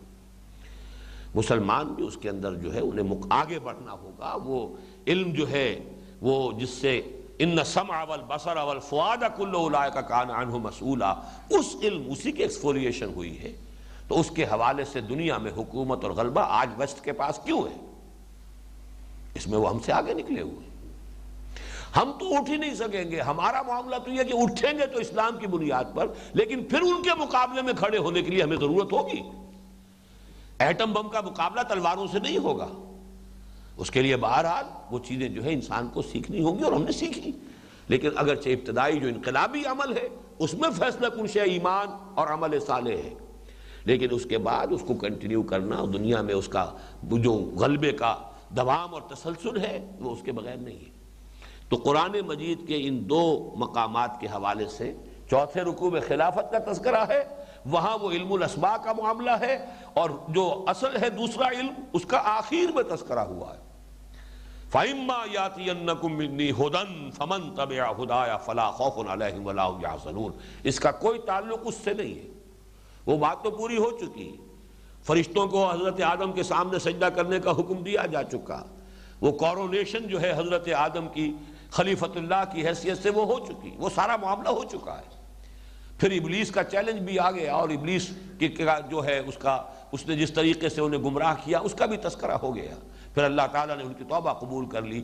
اب جو انہیں اس، جو بھی حبوت ہے، جو زمین کا جہاں کی خلافت دی جا رہی تھی، اس کا چارج دیا جا رہا ہے اب ذکر ہو رہا۔ ہے فَإِمَّا يَاتِيَنَّكُم مِّنِّي هُدًى فَمَن تَبِعَ هُدَايَ فَلَا خَوْفٌ عَلَيْهِمْ وَلَا هُمْ يَحْزَنُونَ۔ اس ہدایت کا تعلق ہے نبوت سے، ہدایت سے، امامت سے۔ اور حضر حقیقت انی جائلک للناس امامہ کا مطلب یہی ہے کہ حضرت ابراہیم کے بعد نبوت کا سلسلہ صرف ذریت ابراہیمی کے اندر رہ گیا۔ کوئی نبی ذریت ابراہیمی سے باہر نہیں آ سکتا۔ اور یہ ہمارے منتخب نصاب میں سورہ حدید جو اس کے آخری چھٹے حصے کی حیثیت رکھتی ہے، اس میں جو آیت ہے، وَلَقَدْ أَرْسَلْنَا نُوحًا وَإِبْرَاهِيمَ وَجَعَلْنَا فِي ذُرِّيَّتِهِمَ النُّبُوَّةَ وَالْكِتَابِ۔ ہم نے ہی بھیجا تھا نوح کو بھی اور ابراہیم کو بھی، اور ہم نے انہی کی نسل میں، ذریت میں رکھ دی ہے نبوت اور کتاب۔ یعنی حضرت نوح علیہ السلام کے بعد حضرت نوح کی نسل۔ ویسے تو باقی تمام، ویسے نوع انسانی ویسے ہی ختم ہو گئی۔ اس کے بعد تو جو بھی اور جو نوع انسانی ہے، وہ ہے ہی حضرت نوح کی نسل میں سے۔ لیکن حضرت ابراہیم کے بعد اب یہ نبوت جو ہے، وہ صرف حضرت ابراہیم کی نسل میں سے۔ چنانچہ دو ہزار برس تک، بلکہ ڈھائی ہزار برس تک یہ سلسلہ رہا۔ بنی اسرائیل میں۔ حضرت اسماعیل صرف واحد ہیں اللہ کے نبی، جو کہ اس شاخ کے اندر ہے باقی حضرت اسماعیل کے بعد سے لے کر اور حضرت محمد تک صلی اللہ علیہ وسلم، ڈھائی ہزار برس تک کوئی نبوت، کوئی رسالت نہیں۔ وہ نبوت و رسالت حضرت اسحاق بھی نبی ہے یعقوب بھی نبی ہے پھر حضرت یوسف نبی ہے پھر آگے چل کر تھوڑے سے وقفے کے بعد حضرت موسیٰ بحثیت رسول آئے، حضرت موسیٰ سے حضرت عیسیٰ تک چودہ سو برس تک نبوت کا تار ٹوٹا ہی نہیں۔ کانت بنو اسرائیل تسوسہم الانبیاء کلما حلق نبی خلفہ نبی۔ بخاری کی روایت ہے، حضور نے فرمایا صلی اللہ علیہ وسلم، بنی اسرائیل کی سیاست اور حکومت کے معاملات انبیاء کے ہاتھ میں ہوتے تھے۔ جیسے ہی کسی نبی کا انتقال ہوتا تھا، اس کا جانشین بھی کوئی نبی ہی ہوتا تھا۔ یہ تار چلتا رہا۔ دونوں شاخیں وہی ہیں۔ تیسری شاخ اور بھی ہے۔ یہ بنی قطورہ کہلاتے ہیں۔ حضرت حاجرہ سے حضرت اسماعیل ہوئے، حضرت سارا سے حضرت اسحاق ہوئے۔ ایک قطورہ تیسری اہلیہ بھی حضرت ابراہیم کی ہے، بعد میں جن سے شادی کی ہے، ان کی نسل میں بڑے کئی بیٹے ان کے اور تھے، جن میں سے صرف ایک زیادہ مشہور ہوا مدیان مدین یا مدیان۔ اور اس نسل میں حضرت شعیب ہوئے ہیں، جن کو وہ اللہ کے رسول کی حیثیت سے بھیجے گئے۔ لیکن بہرحال نبوت و رسالت حضرت ابراہیم علیہ السلام کی ضروریت سے باہر جانے کا کوئی سوال اب تو ویسے ہی دروازہ بند ہے، لیکن یہ ایک علمی مسئلہ ہے، تاریخی اعتبار سے اس کو پہچان لینے کی ضرورت ہے کہ حضرت ابراہیم کے بعد نبوت اور رسالت کا معاملہ صرف ان کی ضروریت کے ساتھ ہے اور اسی سے تعلق امامت کا ہے۔ وَإِذِ طَلَا إِبْرَاهِيمَ رَبُّهُ بِكَلِمَاتٍ فَاتَمَّهُنَّ قَالَ إِنِّي جَائِلُكَ لِلنَّاسِ إِمَامًا۔ قَالَ وَمِن ذُرِّيَّتِي؟ نوٹ کیجیے ان الفاظ کو۔ جب اللہ نے فرمایا، میں تمہیں پوری نوع انسانی کا امام بنانے والا ہوں سوال کیا اور میری اولاد میں سے یہ وعدہ، یہ جو پیشن گوئی یا خوشخبری جو ہے، یہ صرف میری ذات سے متعلق ہے یا میری اولاد سے بھی متعلق ہے؟ قال لا ينال عہد الظالمین۔ اب یہاں جملہ تو ایک ہے، اس میں دو معنی ہے ہاں ہے، تمہاری اولاد میں رہے گی۔ ہاں جو ان میں سے ظالم ہوں گے، وہ اس میں شامل نہیں ہوں گے۔ یعنی اگرچہ بات بظاہر صرف نفی کی آ رہی ہے اس نفی میں ایک اس بات امپلائڈ ہے۔ ہاں لیکن تمہاری نسل میں سے جو ظالم ہوگا مشرق ہوگا، باغی ہوگا، ناہنجار ہوگا، وہ اس کے اندر شامل نہیں ہوگا، اس عہد کے اندر۔ گویا کہ باقی جو ہوں گے، نیک ہوں گے، صالح ہوں گے، جو اس طریقے پر چلنے والے ہوں گے، وہ اس اس عہد میں یا اس وعدے میں یا اس بشارت میں انکلوڈڈ ہے یہ اس میں امپلائڈ ہے، یہ پہلو۔ لا ینال وحد الظالمین اور یہ نوٹ کر لیجیے، اس حصے کے بارے میں دو باتیں۔ ایک تو یہ کہ در حقیقت یہ وہی بات ہے جو سورہ بقرہ کے اس حصے میں جو ہم ختم کر چکے ہیں۔ خطاب میں بنی اسرائیل اس میں دو مرتبہ آ چکا ہے۔ الفاظ مختلف ہیں۔ آٹھویں رکو کی پہلی آیت۔ ان الذين امنوا والذين هادوا والنصارى والصابين من امن بالله واليوم الاخر۔ وعمل صالحا فلا خوف عليهم ولا هم يحزنون اللہ تعالیٰ کے ہاں جو بھی وعدے ہیں، وہ کسی قومیت سے متعلق نہیں ہے کسی امت میں بظاہر شامل ہونے سے ان کا تعلق نہیں ہے۔ تعلق ہوگا اس سے کس کے پاس حقیقی ایمان ہے، ذاتی ایمان، اور کس کا عمل درست۔ ضروریت ابراہیمی سے بھی تعلق ہوا کرے، لیکن یہ کہ اگر وہ ایمان اور عمل صالح نہیں ہے، تو اس عہد میں وہ شامل نہیں۔ اور پھر یہ مضمون ہم پڑھ چکے ہیں ابھی کچھ ہی عرصے پہلے، ایک دو نشستوں قبل۔ آیت نمبر ایک سو بارہ۔ بلا من اسلم وجہہ للہ وہو محسن فلہو اجرہو اند ربہ ولا خوف علیہم ولا یعزنون کیوں نہیں؟ جو کوئی بھی اپنے آپ کو سپرد کر دے اللہ کے پوری خوبصورتی کے ساتھ، بحسن وجوہ، اس نے اپنے آپ کو اللہ کے حوالے کر دیا ہو، اس کے لیے اس کا عجر بھی اس کے رب کے ہاں محفوظ ہے اور اس کے لیے نہ کوئی حزن ہے نہ خوف ہے۔ وہی بات یہاں تیسری مرتبہ آ گئی کہ ابراہیم اپنے مقام پر جو کچھ ہے، تین نسبتیں ابراہیم کی۔ ابو الانبیاء، خلیل اللہ، حضرت ابراہیم علیہ السلام اور امام الناس۔ اللہ کے ساتھ نسبت خلت کی، خلیل اللہ۔ وَاتَّخَذَ اللَّهُ ابراہیم خلیلہ اور کسی کے بارے میں لفظ آپ کو قرآن میں نہیں ملے گا۔ امام الناس انی جائلک للناس اماما۔ ابو الانبیاء سینکڑوں نبی ان کی اولاد میں، ان کی نسل میں آئے اور اس سے بڑھ کر اور کیا خود محمد الرسول اللہ صلی اللہ علیہ وسلم ان کی نسل سے ہے ان کی اولاد میں سے۔ لیکن ان کے بھی نسل کے ساتھ معاملہ نہیں ہے، تعلق اس نسل کے اندر ہونا، اس سے نسلی تعلق ہونا نجات کی بنیاد نہیں۔ وَإِذْ جَعَلْنَا الْبَيْتَ مَسَابَةً لِلنَّاسِ وَأَمْنًا۔ اور یاد کرو جبکہ ہم نے ٹھہرایا، بنا دیا، ٹھہرایا، قرار دیا گھر کو، البیت۔ الفلام نے یہاں عہد کی کیفیت پیدا کر دی یعنی بیت اللہ، ہمارا گھر۔ ہم نے اپنے گھر کو قرار دیا، بیت اللہ کو قرار دیا، اس بیت العتیق کو قرار دیا۔ کیا قرار دیا؟ مسابت للناس و امنا دو چیزیں ہیں کہ جو یہاں پر آ رہی مسابہ سابا یسیب و صوبن۔ سابا یسوب و صوبن کے معنی بھی ہے رجع، لوٹنا، واپس آنا۔ اور نوٹ کیجیے یہ تین الفاظ کتنے قریب ہیں مادے کے اعتبار سے۔ آبا یعوب و اوبن۔ آئبونا تائبونا لربنا حامدون۔ آپ سفر پر گئے ہو، واپس آئے ہیں تو گھر میں داخل ہوتے ہوئے آئبونا تائبونا لربنا حامدون۔ ہم آئے ہیں، لوٹ رہے ہیں اپنے رب کی طرف، اپنے گھر کی طرف، اور اللہ کی طرف بھی رجوع کر رہے ہیں۔ یہ رجوع کی کیفیت کو اس طرف بھی منسوب کر دیا جائے اور اپنے رب کی حمد کرتے ہوئے واپس آ گئے۔ تابہ یتوب و توبن توبہ کرنا، اللہ کی طرف رجوع کرنا، یہ ایک خاص بن گیا، ایک اصطلاح بن گئی۔ اور صابہ یسوب و صوبن یہ بھی لوٹنا۔ مسابہ کہتے ہیں لوٹنے کی جگہ، بار بار آنے کی جگہ۔ یا جس کو کہیں گے مرکز. یہ در حقیقت بیت اللہ، بیت ایل، اللہ کا گھر. یہ ہے لوٹ لوٹ کر آنے کی جگہ، بار بار جانے کی جگہ. جیسے کہ حج کے بارے میں بھی ایک حدیث موجود ہے کہ جو شخص مقدرت رکھتا ہو اور پانچ سال سے زیادہ عرصہ گزر گیا اور اس نے حج نہ کیا ہو، تو اللہ تعالیٰ کے ساتھ اس کا معاملہ جو ہے، پھر وہ مشکوک ہو جاتا ہے. مجھے ایگزیکٹ جو ہے وہ یاد نہیں ہے۔ میں حیران تھا جب تک کہ میرے علم میں یہ حدیث نہیں آئی تھی کہ سعودی حکومت نے ایک فیصلہ کیا تھا کہ جو لوگ وہیں جا کر آباد ہو گئے، پاکستانی یا ہندوستانی یا اور دوسرے لوگ جو وہاں پر کام کر رہے ہیں۔ اب وہ ہر سال حج کرنے آ جاتے تھے، جس کی وجہ سے حج میں انتہائی ازدحام اور ہجوم۔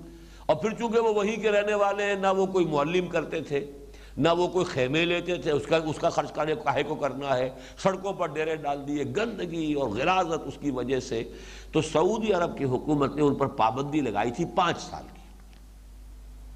جس نے ایک دفعہ حج کر لیا، پانچ سال تک اب نہیں کر سکتا۔ مت مت آئے، اس کے، ان کے، اس تھپا لگا دیا جاتا تھا۔ تو میں حیران تھا، یہ پانچ سال کہاں سے لے کے آئے یہ؟ تو معلوم ہوا کہ ہے۔ چونکہ ان کے ہاں بہرحال وہ شیخ عبدالعزیز ابن باز، ان کا ایک دارالفتاح ہے، اس کا پورا نظام ہے۔ تو حدیث بھی نظر سے گزری۔ اور کوئی مجھے یاد آیا تھا اس کے بعد کہ ایسا ہوتا ہے، اگرچہ ویسے تو انسان کی خواہش ہوتی ہے ہر سال حج کرے، لیکن اب جو حج میں استحام ہوتا ہے، اس کی وجہ سے اللہ معاف کرے، لیکن میری کیفیت یہ رہی ہے کہ ہر حج کے بعد آدمی سوچتا ہے کہ اب دوبارہ میں حج کے لیے نہیں آؤں گا۔ عمرہ جو ہے، اللہ تعالیٰ جب بھی موقع انعاد کر دے، اس لیے کہ حج پر تو معاملہ واقع اب برداشت سے باہر ہو گیا ہے۔ اور اب چونکہ عمر بھی بڑھتی جا رہی تھی تو وہ قوت جو ہے وہ قاومت کی اور برداشت کی اس میں بھی کمی ہے۔ لیکن یہ کہ میں نے محسوس کرنا شروع کر دیا تھا کہ پانچ چھ سال کے بعد وہ جیسے حرک سی اٹھتی ہے اندر سے، تو خود اندر سے ایک جذبہ جو دوبارہ ابھرتا تھا یا ابھرتا ہے کہ جانا چاہیے۔ تو پھر جب یہ حدیث سامنے آئی تو اس سے مجھے تشفی ہوئی، اطمینان ہوا۔ ایک یہ بھی ہوا کہ کچھ اندر کوئی شے جو ہے، اس کی کوئی مطابقت ہے اس کتاب و سنت کے ساتھ کہ اگرچہ وہ حدیث میرے علم میں نہیں تھی، لیکن اب آ گئی۔ بہرحال مسابہ اسی سے لفظ بنا ہے ثواب۔ ثواب کیا ہے؟ آپ کے نیک عمل کا بدلہ جو لوٹ کر آئے گا آپ کے پاس، لوٹ کر آنے والی شے، آپ کے عمل کا وہ نتیجہ جو آپ کو واپس ملنے والا وہ ثواب ہے۔ تو مسابہ کہتے ہیں لوٹ کر بار بار آنے کی جگہ اور اس کو اب آپ زیارت گاہ کہیں، جو بھی کہیں مسابت الناس لوگوں کے لیے، اہل ایمان کے لیے ہم نے اسے مرکز بنایا ہے۔ وہ امنا اور امن کی جگہ۔ اور یہ امن کا معاملہ اس کا ایسے رہا، ایام جاہلیت میں اور ہر شے ختم ہو گئی، لیکن بیت اللہ کا اور حرم کا امن نہیں گیا۔ انتہائی جاہلیت کے اندر بھی یہ رہا ہے۔ اور جیسا کہ آپ کو معلوم ہے، قبائلی زندگی میں انتقام اور بدلہ یہ آگ سلگتی رہتی ہے کسی کے باپ کو، کسی نے قتل کر دیا۔ اب اس کے اندر تو اس کے لیے چین نہیں ہے، آرام نہیں ہے۔ زندگی کی کسی شے میں اس کے لیے کوئی دلچسپی نہیں ہے، کوئی اٹریکشن نہیں ہے جب تک کہ وہ بدلہ نہ چکا لے اور اپنے باپ کے قاتل کو قتل نہ کرے لیکن یہ ہوتا تھا کہ کوئی شخص اپنے باپ کے قاتل کی تلاش میں جو ہے، وہ مارا مارا پھرتا رہا ہے، لیکن اسے حرم میں نظر آ جاتا ہے، قاتل وہاں اسے وہ کچھ نہیں کہے گا۔ بالکل نہیں کہے گا۔ یہ حرم میں اللہ کے امان میں اسی طرح باپ کا قاتل بڑا مشہور واقعہ ہے۔ ایک شخص جو تلاش کرتا رہا واہ سال، ہر سال سے۔ ایک روز رات کے وقت ایک شخص نے آ کے پناہ مانگی اور ایک رات گزارنے کے لیے وقت جگہ اجازت طلب کی۔ صبح دیکھا تو وہ تو میرے باپ کا قاتل ہے یہ۔ لیکن امان دے چکا ہوں۔ مہمان کے ساتھ معاملہ نہیں ہوگا۔ چھوڑ دیا۔ یہ ان کی روایات تھیں۔ اور یہ روایات جو ہے اس پر وہ پوری طرح کاربن تھے۔ بہرحال امن کا معاملہ بیت اللہ کے ساتھ، حرم کے ساتھ، یہ وہ شے ہے کہ جو ان موجزات میں سے ہے کہ یہ چاہے اس کی بے حرمتی اور پہلوؤں سے ہو گئی، چاہے اسے شرک کا اڈا بنا دیا، توحید ختم ہوئی، لیکن یہ کہ امن کا معاملہ جو ہے وہ بدترین دور میں بھی اس کا قائم رہا ہے۔ اپنے جانی دشمن کو، اپنے جو جو بھی برے سے برا جو ہے، کوئی یعنی دشمن ہے، اس کو بھی اگر وہاں دیکھیں گے، وہاں کو گدن نہیں پہنچائیں گے مقام ابراہیم مسلح البتہ یہاں ایک بات نوٹ کیجیے۔ باقی تو بہت سی باتیں جو اس رکوع میں آ رہی ہیں، وہ تورات میں موجود ہیں۔ ساری ہی تقریباً موجود ہیں۔ لیکن تورات میں جو تحریف کی گئی ہے، وہ یہ کہ بیت اللہ کے ذکر کو وہاں سے کھرچ کر نکال دیا۔ حضرت اسماعیل کی بجائے حضرت اسحاق کو زبیح اللہ قرار دینے کے لیے تحریف کی گئی تورات کے اندر۔ اور یہ کہ مروا کو مریا بنایا گیا۔ بکا مکے کا ایک نام بکا ہے، بلکہ قدیمی نام بکا ہے۔ بک کہتے ہی شہر کو ہے، بال بک، بال کا شہر۔ یہ عراق کے اندر، جہاں کے بہت بڑا معبود بال تھا۔ تو بال بک سٹی آف بال۔ یہ سٹی آف اللہ۔ بیت العیل یہ در حقیقت اس کے لیے بھی لفظ بکا تھا۔ لیکن یہ کہ وادی بکا نام رکھا گیا ایک فلسطین کی وادی کا، تاکہ اس پہ سارا توجہ جو ہے وہ ادھر مرکوز کر دی جائے۔ اور حضرت اسماعیل کا تذکرہ، اسماعیل کا تذکرہ موجود ہے، حضرت حاجرہ کا تذکرہ موجود ہے۔ لیکن زبیح اللہ ہونے کی حیثیت جو ہے حضرت اسماعیل کی وہ ختم کی گئی۔ یہ جو بیت اللہ کا معاملہ ہے، اس کا تذکرہ وہاں سے نکالا گیا۔ اس کے کوئی ذکر تورات میں آج موجود نہیں۔ اور اس ضمن میں یہ ہے کہ جس قدر انہوں نے جیسا کہ آپ کہتے ہیں نا چور کے پاؤں نہیں ہوتے، چور کتنا ہی ہوشیار ہو، کچھ نہ کچھ کلوس جو ہے وہ رہ جاتے ہیں جو پھر تفتیش کرنے والے لوگ اور سراغ رساں جو ہیں وہ ان کے حوالے سے چور تک پہنچتے ہیں۔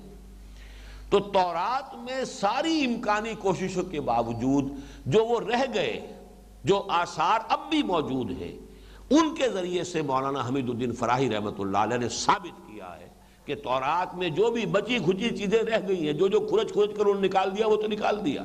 لیکن جو چیزیں ان کی نگاہوں سے اوجل رہ گئی جو جن چیزوں کی طرف توجہ نہیں گئی ان سے ثابت ہوتا ہے کہ زبیح اللہ حضرت اسماعیل تھے اور ان کی قربانی کی جگہ جو ہے یہ مروا ہے، جس کو بریا بنا کر وہ کہیں اور لے گئے۔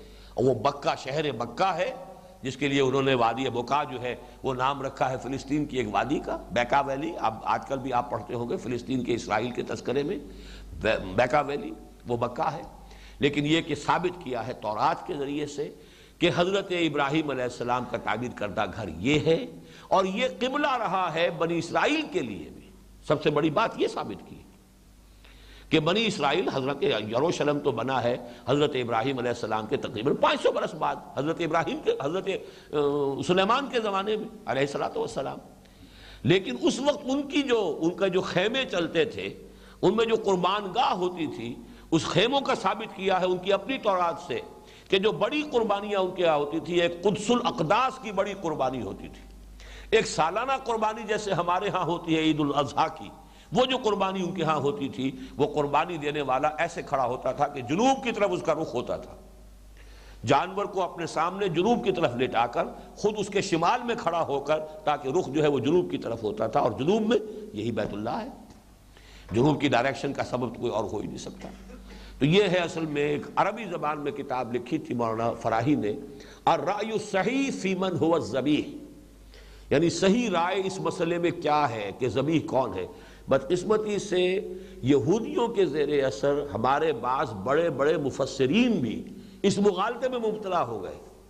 غالباً ابن جریر تبری نے بھی یہ رائے ان کی قبول کر لی ہے کہ زبیح اللہ اسحاق ہے۔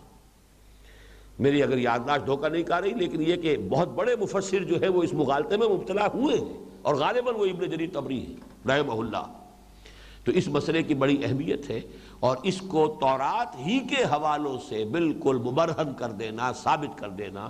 یہ ایک بڑی خدمت ہے کہ جو مولانا فراہی رحمۃ اللہ علیہ نے کی ہے، جو ان کی کتاب، جو پھر عربی سے اردو میں ترجمہ کیا مولانا اسلائی صاحب نے۔ زبیح کون ہے کہ نام سے وہ ہم نے شائع کی تھی؟ بہت پہلے کی بات ہے، کم سے کم پچیس برس ہو گئے۔ اس کے کچھ نسخے ابھی موجود ہیں اور بہرحال جو جن لوگوں کو اس دلچسپی ہو وہ حاصل کر سکتے ہیں۔ وہی جان البیت مسابت الناس و امنا و تخذو مقام ابراہیم مسلح اور اختیار کر لو، بنا لو ابراہیم کے کھڑے ہونے کی جگہ میں سے، نماز پڑھنے کی جگہ۔ مسلح یہ بھی اس میں ظرف ہے سلاد سے۔ وہ جگہ جہاں پر نماز پڑھی جائے۔ مقام مقام بھی اس میں ظرف ہے۔ قیام کی جگہ، قیام گاہ۔ لیکن اس کے دو مفہوم جو لیے گئے ہیں۔ اور ایک عام مفہوم جو ہے، جو بہت زیادہ رواج پا چکا ہے، وہ بھی سلف سے چلا آ رہا ہے۔ ایک دوسرا مفہوم جو اگرچہ عام نہیں ہے، لیکن وہ بھی سلف سے ہے۔ وہ بھی عبداللہ ابن عباس رضی اللہ تعالیٰ عنہ سے وہ بھی روایت کیا گیا ہے۔ جو عام جو ہے، وہ تو یہ ہے کہ حضرت ابراہیم جب تعمیر کر رہے تھے بیت اللہ کی، تو ظاہر بات ہے کہ اس وقت نہ تو کوئی ایسی مشینیں موجود تھیں کہ جن سے اونچا ہوا جا سکے۔ اور یہ باقی سارا یہ بھی بعد میں جو تعمیر کے جو بھی نظام بنے ہیں، پیڑ لگانا، اوپر چڑھنا، شاید اس کا بھی سامان نہ ہو ان کے پاس، تو اللہ تعالیٰ نے موجزانہ طور پر ایک پتھر انہیں دیا تھا، جس پر وہ کھڑے ہو کر تعمیر کرتے تھے، اور جیسے جیسے دیوار اونچی ہو رہی تھی، وہ پتھر بھی اونچا ہوتا چلا جاتا تھا۔ وہ گویا کہ لفٹ کا کام بھی کرتا تھا اور ان کے کھڑے ہونے کی جگہ کا کام بھی کرتا تھا۔ وہ پتھر ہے جو اب بھی خانہ کعبہ میں رکھا ہوا ہے۔ اور وہ مقام ابراہیم اسے کہتے ہی ہے کہ اس پر کھڑے ہو کر حضرت ابراہیم نے خانہ کعبہ کی تعمیر کی ہے اور وہ ایک سنہری ایک اس کے اندر کیس کے اندر شیشے کے وہ موجود ہے اور وہاں پر دو رکعتیں طواف کے بعد جو ہے اس کے پیچھے ایسے رخ کر کے کہ سامنے مقام ابراہیم آ جائے اور پھر اس کے اس کے سامنے خانہ کعبہ ہو۔ اس سمت میں کھڑے ہو کر دو رکعتیں طواف کی واجب ہیں جو ادا کی جاتی ہیں۔ بہرحال ایک تو مفہوم یہ ہے کہ مقام ابراہیم کو نماز کی جگہ بنا لو یعنی اس کی گویا کہ عملی تفسیر کیا ہے کہ جب بھی طواف کرو تو اس مقام ابراہیم کے پاس بھی جا کر دو رکعت ادا کیا کرو۔ یا یہ کہ وہاں پر نماز پڑھنے کی زیادہ ایک فضیلت ہو جائے گی۔ دوسرا مفہوم اور یہ بھی حضرت عبداللہ ابن عباس رضی اللہ تعالی عنہما سے مروی ہے کہ مقام ابراہیم سے مراد ہے قیامگاہ ابراہیم کی۔ یہ پورا جو علاقہ ہے مکے کا، یہ حرم کی جگہ، یہ گویا کہ پورا حضرت ابراہیم علیہ السلام نے جب اپنی بیوی کو، حضرت حاجرہ کو، اپنے بیٹے کو، اسماعیل کو یہاں آباد کیا ہے، تو یہ گویا کہ ان کا مقام ہے، ان کی قیام گاہ ہے، ان کے ٹھہرنے کی جگہ ہے۔ اس کو نماز کے لیے بنا لو، گویا کہ یوں سمجھئے کہ بیت اللہ وہ تو ایک وہ چوکور گھر ہے اس وقت جو بھی، اور اس کے گرد جو ہے مسجد حرام، یہ ہے نماز پڑھنے کی جگہ۔ وہ تو مسجد حرام کی گود میں اللہ کا گھر وہ جو ہے بیت اللہ جو ہے وہ اس کے درمیان میں ہے۔ تو یہ دوسرا مفہوم ہو جائے گا کہ یہاں پر مقام ابراہیم سے مراد حضرت ابراہیم کی قیام گاہ۔ وَتَّخِذُوا مِن مقام ابراہیم مصلح وَعَهِدْنَا إِلَىٰ إِبْرَاهِيمَ وَإِسْمَعِيلَ أَن طَهِّرَا بَيْتِيَ لِلطَّائِفِينَ وَالْعَاكِفِينَ وَالرُّكَّعِ السُّجُودِ۔ عَهِدْنَا إِلَىٰ۔ عہد کے بعد جب الہ کا صلہ آتا ہے تو اس کے معنی ہوتے ہیں کسی کے ذمے کوئی کام ڈال کر اور اس سے عہد لے لینا کہ یہ ذمہ داری میں نبھاؤں گا۔ عہدنا الہ ابراہیم۔ ہم نے یہ ذمہ داری ڈال دی اسماعیل اور ابراہیم پر، ابراہیم اور اسماعیل پر۔ انتحرا بیتی، کہ میرے اس گھر کو دونوں، یہ اب یہ تسلیہ کا سیغہ آ رہا تحرا امر کا سیغہ تسلیہ سیغہ دونوں تمہاری ذمہ داری ہے کہ میرے اس گھر کو پاک رکھو گے۔ پاک کس اعتبار سے؟ یہاں کوئی گوڑا کرکٹ نہ ہو، میل کچیل نہ ہو، کوئی تعفن نہ ہو۔ جو بھی اس کے طواف کرنے والے آئیں، یہاں اعتکاف کرنے کے لیے آئیں، ان کو کوئی تقدر نہ ہو۔ ان کی طبیعت جو ہے، اس کے اوپر کوئی بوجھ نہ ہو۔ پوری یکسوئی کے ساتھ، اپنی توجہ کے ارتکاز کے ساتھ ہم سے لو لگا سکیں۔ تو ایک تو ہے یہ ظاہری طور پر اور دوسرے مانوی طور پر۔ شرک جو ہے سب سے بڑی نجاست ہے۔ ہمارے اس گھر کو ہر طرح کی نجاست اور گندگی سے پاک رکھنا، یہاں شرک کی آلائش نہ آنے پائے اور یہاں پر کوئی اور ظاہری گندگی جو ہے وہ بھی نہ ہو۔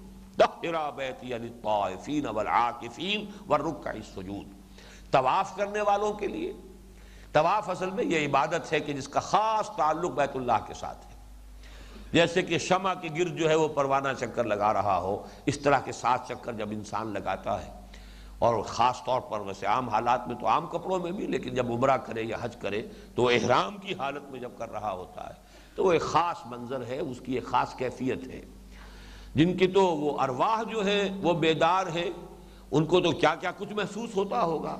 بعض چیزیں اس کی ایسی ہیں کہ جو عام آدمیوں کو بھی محسوس ہوتی ہے اس کا ایک کیف اور سرور اور اس کی لذت، اس کا منظر جو ہے، وہی کسی دیکھنے والے کے لیے بہت ہی مشہور کل منظر ہے۔ جیسے پروانہ وار جو ہے شمع کے گرد جو چکر لگا رہے ہیں۔ توحرا بیتی للطائفین والعاکفین۔ عاکف کہتے ہیں کسی شے پر توجہ کر کے یکسو ہو کر بیٹھ جانا۔ عقفہ علیہ یاکفو اے اقبل علیہ موازبا و لازمہ کوئی شخص کسی چیز کی طرف رخ کر لے، وہ پوری پابندی کے ساتھ اور اس کو اپنے اوپر لازم کر لے۔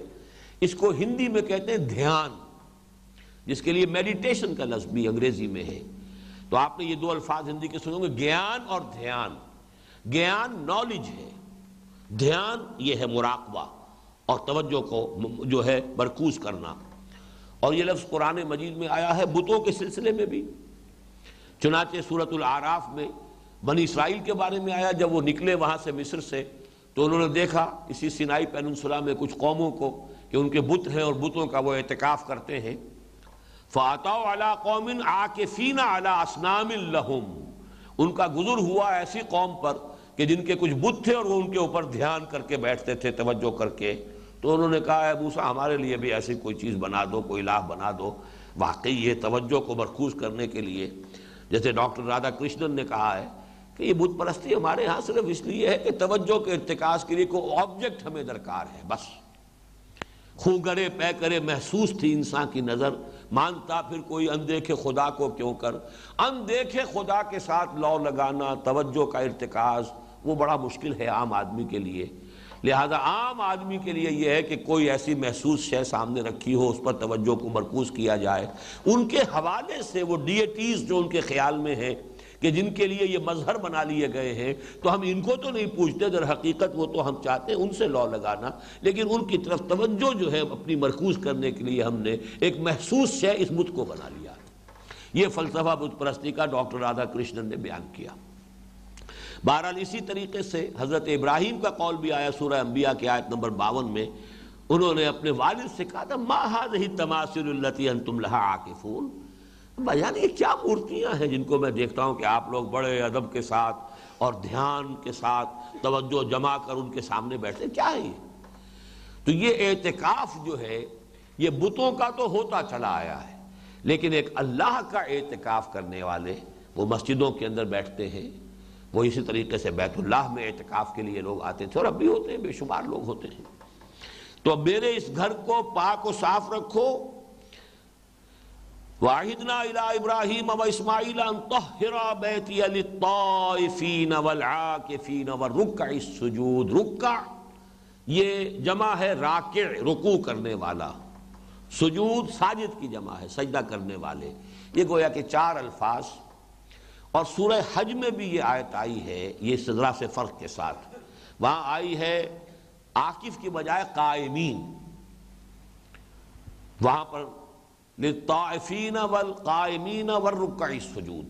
عاقف یہاں آیا ہے، وہاں پر قائمین قیام کرنے والے۔ نماز کا چونکہ جیسے ایک رکن جو ہے، سجدہ ہے، ایک رکن اس کا رکوع ہے، ایک قیام بھی ہے۔ تو سرا سے فرق کے ساتھ یہ مضمون وہاں بھی آیا ہے۔ لیکن جو نوٹ کرنے والی اہم تر بات ہے، سورہ حج چونکہ مکی صورت ہے۔ وہاں صرف حضرت ابراہیم کا ذکر ہے، حضرت اسماعیل کا ذکر نہیں ہے۔ وَإِذْ بَوَّعْنَا لِإِبْرَاهِيمَ مَكَانَ الْبَيْتِ اللہ تشرک بھی شیعہ وَطَحِرْ تَحِرَا نہیں تَحِرْ بیتیا لِلطَّائِفِينَ وَالْقَائِمِينَ وَالرُّكَعِ السُّجُود صرف ابراہیم کا ذکر ہے، ساتھ اسماعیل کا ذکر نہیں ہے۔ یہاں اس کو نمایاں کیا گیا کہ ابراہیم اور اسماعیل دو تھے کہ جو یہ کام کر رہے تھے۔ کیوں؟ اس لیے کہ یہاں پر اب تذکرہ کرنا ہے اس امت مسلمہ کا، جس کا نیوکلیس منی اسماعیل میں سے تیار ہو رہا ہے۔ یہ فرق ہے کہ ایک ہی مضمون قرآن مجید میں دو جگہ آ رہا ہے، لیکن تھوڑا سا فرق بھی جو ہوتا ہے اس کے اس کے اندر، کہیں ایک ڈیٹیل امٹ کر دی گئی، کہیں اس اس ڈیٹیل کو نمایاں کیا گیا۔ حضرت ابراہیم اصل معمار تو وہ ہے حضرت اسماعیل کی حیثیت ہیلپر کی ہے۔ ظاہر بات ہے کہ حضرت ابراہیم علیہ السلام اور وہی ہے اور یہ تو ابھی تیرہ برس کی عمر ہے ان کی، وہ ان کے ہیلپر کی حیثیت سے ہے اصل معاملہ جو ہے امام الناس وہ تو حضرت ابراہیم ہے۔ وہاں اسی پر اکتفا کی گئی۔ وہاں اصل میں اس گھر کی جو جڑ اور بنیاد تھی وہاں پر سب سے پہلے اللہ تشرک بھی شیا میرے ساتھ شرک ہرگز مت کرنا، مت شریک ٹھہرانا کسی شے کو۔ یہاں اس کو امٹ کر دیا گیا۔ لیکن یہاں اسماعیل کا ذکر ہے، وہاں اسماعیل کا ذکر نہیں ہے۔ تو جب ہم دونوں مقامات کو جمع کر لیں گے، تو بات پوری ہو جائے گی۔ یہاں تہرا میں ہم نے میں نے کہا کہ وہ شرک کی نجازت سے پاک کرنا یہ بھی وہاں پر گویا کہ امپلائڈ ہے۔ وہاں اس کو نمایاں کیا گیا۔ وَإِذْ بَوَّعْنَا لِإِبْرَاهِيمَ مَكَانَ الْبَيْتِ اللَّهِ تُشْرِكْ بِي شَيْئًا وَطَهِّرْ بَيْتِيَ لِلطَّائِفِينَ وَالْقَائِمِينَ وَالرُّكَّعِ السُّجُودِ وَأَذِّنْ فِي النَّاسِ بِالْحَجِّ يَأْتُوكَ رِجَالًا وَعَلَى كُلِّ ضَامِرٍ يَأْتِينَ مِنْ كُلِّ فَجٍّ عَمِيقٍ لِيَشْهَدُوا مَنَافِعَ لَهُمْ تو بات جو ہے، یہ اکثر جو ہے، یہ آیات جو آج ہم پڑھ رہے ہیں، یہ قرآن مجید میں دو دو جگہ پر آئی ہیں۔ اس کا بعد میں بھی تذکرہ ہوگا۔ وَإِذْنَا إِلَىٰ إِبْرَاهِيمَ وَإِسْمَاعِيلَ أَن طَهِّرَا بَيْتِيَ لِلطَّائِفِينَ وَالْعَاكِفِينَ وَالرُّكَّعِ السُّجُودِ وَإِذْ قَالَ إِبْرَاهِيمُ رَبِّ اجْعَلْ هَٰذَا بَلَدًا آمِنًا وَارْزُقْ أَهْلَهُ مِنَ الثَّمَرَاتِ مَنْ آمَنَ مِنْهُمْ بِاللَّهِ وَالْيَوْمِ الْآخِرِ۔ اور یاد کرو جبکہ کہا، ابراہیم نے دعا مانگی اے رب میرے رب بے کے نیچے زیر ہے، ربی در حقیقت، یہ اس کا مخفف سمجھئے۔ وہ ربی کی یہ جو ہے وہ صرف زیر کے ذریعے سے واضح ہو۔ اے میرے رب، اے پروردگار، میرے پروردگار، اس شہر کو، اس بستی کو امن کا گہوارہ بنا دیجو۔ اس کی تفصیل آئی ہے اس دعا کی سورہ ابراہیم میں۔ وَإِذْ قَالَ إِبْرَاهِيمُ رَبِّ جَعَلْ حَازَ الْبَلَدَ آمِنًا۔ اب وہاں الف لام لگا کر اور اس پر زور دیا گیا۔ جبکہ ابراہیم نے کہا تھا، اے رب میرے، اس گھر کو امن کا گہوارہ بنائیو۔ وجنبنی و بنی یا نعبد الاسنام اور بچائے رکھیو مجھے بھی اور میری اولاد کو بھی، میری نسل کو بھی، کہ ہم ان بتوں کی پرستش کرنے لگ جائیں۔ معاذ اللہ۔ رب انہن اضللن کثیرا من الناس۔ اے رب ہمارے، اے رب میرے، ان بتوں نے بہت سو کو گمراہ کیا ہے پہلے بھی۔ فمن تبعنی تو میری اس نسل میں سے جو میرا اتباع کرے، میری پیروی کرے، میرے نقش قدم پر چلے، فَإِنَّهُ مِنِّي، تو وہ تو مجھ میں سے ہے ہی۔ وہ تو ان تمام وعدوں کا مصداق ہے ہی جو تو نے مجھ سے کیے ہیں۔ وَمَنْ عَسَانِي فَإِنَّكَ غَفُورُ الرَّحِيمُ اور اے پروردگار، جو میری نافرمانی کرے تو تو غفور الرحیم ہے۔ یہ التجا کی سب سے زیادہ لجاجت آمیز انداز جسے کہا جاتا ہے۔ اور کیا کہے پروردگار، تو غفور الرحیم ہے۔ ربنا انی اسکنت من ذریتی بواد غیر ذی زرع۔ اے رب ہمارے، میں نے اپنی اولاد میں سے ایک حصے کو، ایک نسل کی، اپنی ایک نسل کو، اپنی ایک شاخ کو تیرے اس گھر کے پاس اندہ بیت کل محرم، تیرے اس اس حرمت والے، عزت والے گھر کے پاس آباد کر دیا ہے۔ اگرچہ بے وادن غیر زی زرعن یہاں کوئی زراعت نہیں، کوئی پیداوار نہیں، بے آب ہو گیا وادی کے اندر۔ ربنا لیقیم الصلاح۔ اس لیے اے رب کہ وہ نماز کا اہتمام کرے، نماز قائم کرے۔ فجعل افئدۃ من الناس تهوی الیہم۔ تو اے رب، اب لوگوں کے دلوں کو ان کی طرف مائل کر دے۔ اس اس حصے کو ضرور نوٹ کیجیے۔ کسی بھی کام کے لیے جب تک تعاون نہ ملے جب تک لوگوں کا رجوع نہ ہو، وہ کام آگے نہیں بڑھ سکتا۔ اے رب، تیرے حکم سے میں نے اپنی نسل کو لا کر یہاں آباد کر دیا۔ جہاں نہ کچھ پیدا ہوتا ہے، بے آب و گیا وادی ہے۔ اب اے پروردگار، تیرے ہاتھ میں ہے، جیسا کہ حضور نے فرمایا، تمام انسانوں کے دل اللہ کی دو انگلیوں کے مابین ہے جدھر چاہتا ہے پھیر دیتا ہے۔ اب لوگوں کے دل ان کی طرف مائل کر۔ لوگوں کا میلان ہو، لوگوں کے دلوں میں ان کی محبت پیدا کر دے۔ تاکہ وہ ادھر مائل ہوں۔ اسی ذریعے سے ورزقہم من الثمرات۔ اور ان کے لیے ذریعہ بنا دے کہ ان کو جو ہے پھلوں کی روز روزی ان کو پہنچا۔ لعلہم یشکرون، تاکہ وہ تیرا شکر ادا کریں۔ اس پورے کو یہاں پر خلاصہ کر کے چونکہ یہ سورہ ابراہیم مکی صورت ہے۔ تفصیل وہاں آ چکی ہے، لہذا یہاں جو اس کا دوبارہ حوالہ ہے اختصار کے ساتھ۔ وَإِذْ قَالَ إِبْرَاهِيمُ رَبِّ جَعْلْ هَذَا بَلَدًا آمِنًا وَارْزُقْ أَهْلَهُ مِنَ الثَّمَرَاتِ مَنْ آمَنَ مِنْهُمْ بِاللَّهِ وَالْيَوْمِ الْآخِرِ۔ لیکن یہاں احتیاط کیا کی ہے؟ چونکہ اللہ تعالیٰ کی طرف سے ایک بات آ گئی تھی کہ لا ینال عہد الظالمین، میرا یہ جو امامت الناس والا جو منصب میں تمہیں دے رہا ہوں اے ابراہیم، یہ میرا یہ میرا قول، یہ میرا اقرار، یہ میرا عہد، تمہاری اولاد میں سے جو ظالم ہوں گے مشرق ہوں گے، وہ اس میں شامل نہیں ہوں گے۔ یہاں حضرت ابراہیم اب خود آگے بڑھ کر ایکسکلوڈ کر رہے ہیں۔ یہ ہے گویا کہ بندگی کی ایک شان۔ کہ اللہ تعالیٰ کی طرف سے جو بات ہے، وہ اپنی دعا میں سے انہیں ایکسکلوڈ کر رہے ہیں۔ پروردگار، میں دعا کر رہا ہوں اپنی اولاد میں سے، صرف ان کے لیے۔ من آمن منہم باللہ والیوم الاخر۔ جو بھی ان میں سے تجھ پر بھی ایمان رکھنے والا ہو، یوم آخر پر بھی ایمان رکھنے والا ہو، اے رب، اس کے لیے، اس ثمرات کے ذریعے سے روزی فراہم کر۔ اس لیے کہ ظاہر بات ہے کہ یہاں تو کوئی پیدا نہیں ہو رہا۔ یہاں کوئی ذرائع معاش ہے نہیں۔ اے رب، اپنے خاص فضل و کرم سے اپنے خاص جو ہے، جو بھی تیری قدرت خاصہ ہے، اس کو بروئے کار لاتے ہوئے ان کے لیے معاش کا، ان کے لیے روزی کا اہتمام فرما۔ یہاں البتہ ایک بات مجھے وزنی معلوم ہوئی ہے کہ سمرات کا ترجمہ ہمیشہ میوے کر دیا جاتا ہے۔ تو اگرچہ سمرات میں میوے بھی شامل ہیں، لیکن میوے کے لیے اپنی جگہ پر عربی زبان کا ایک مستقل علیحدہ لفظ فواقع ہے۔ اور قرآن مجید میں آیا، بار بار آیا۔ فواقع ہے جو خالص ہے میووں کے لیے۔ سمر تو در حقیقت ہر شے کا، جو بھی پھل ہے وہ اس کا سمر ہے۔ یہاں تک کہ انسان کی اولاد اس کا سمر ہے۔ وہ کان لہو سمر، جو سورہ کاف میں آیا ہے، وہاں اس سے مراد بہت سے حضرات نے لیے کہ اولاد بھی تھی اس کی۔ اس کے دو باغ بھی تھے، باغوں کے مابین کھیتی بھی تھی، کھجوروں کے درختوں کی باڑ بھی لگی ہوئی تھی، اس میں چشمے بھی رواں تھے، سب کچھ ہو رہا تھا اور اس کے اپنے اولاد بھی تھی۔ خود بھی جو ہے وہ یعنی بے اولادہ نہیں تھا، بے سمر نہیں تھا، بلکہ اس کی اولاد بھی تھی۔ تو اس حوالے سے یہاں پر ثمرات جو ہیں وہ تمام صرف ان جو بھی میوے جنہیں کہا جاتا ہے یا پھل، ان سے آگے بڑھ کر اجناس بھی اس میں شامل ہو جائیں گی۔ تو اے پروردگار، جو بھی ان میں سے ایمان پر صحیح ایمان کے حامل ہوں، انہیں تو رزق بہم پہنچا۔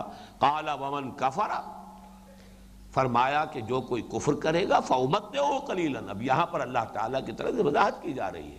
اس دنیا میں تو ہم اس کو بھی متا دیں گے۔ جیسے کہ سورہ بنی اسرائیل میں آیا ہے کلن نمد ہاؤلائے وہاؤلائے من عطاء ربک وما کان عطاء ربک محصورا۔ اس دنیا میں تو ہم کافروں کو بھی دیں گے اور اہل ایمان کو بھی دیں گے۔ امامت کا معاملہ تھا وہ کہ جس کا تعلق ایمان سے تھا، جس سے محروم کر دیے جائیں گے کہ جو مشرک ہیں اور جو گناہ گار ہیں۔ لیکن دنیاوی معاملات کی حد تک امت قلیلا انہیں بھی میں ساز و سامان دنیا کی چیزیں دوں گا، لیکن قلیل کے درجے میں ہے، پوری دنیا کی زندگی قلیل کے درجے میں ہے، تو جو کچھ یہاں پہ دیا جا رہا ہے تمہیں کتنا ہی بڑا معلوم ہو رہا ہو۔ لیکن یہ کہ وہ حصل میں حقیقت نفس العمری کے اعتبار سے قلیل کے حکم میں ہے سم مستر رہو الا عذاب النار، پھر میں اسے کشاں کشاں کھینچ کر لے آؤں گا، آگ کے عذاب کی طرف وہ بیس المسیر اور وہ بہت ہی برا ٹھکانہ ہے۔ بارک اللہ علی ولکم فی القرآن العظیم و نفانی ویاکم بالآیات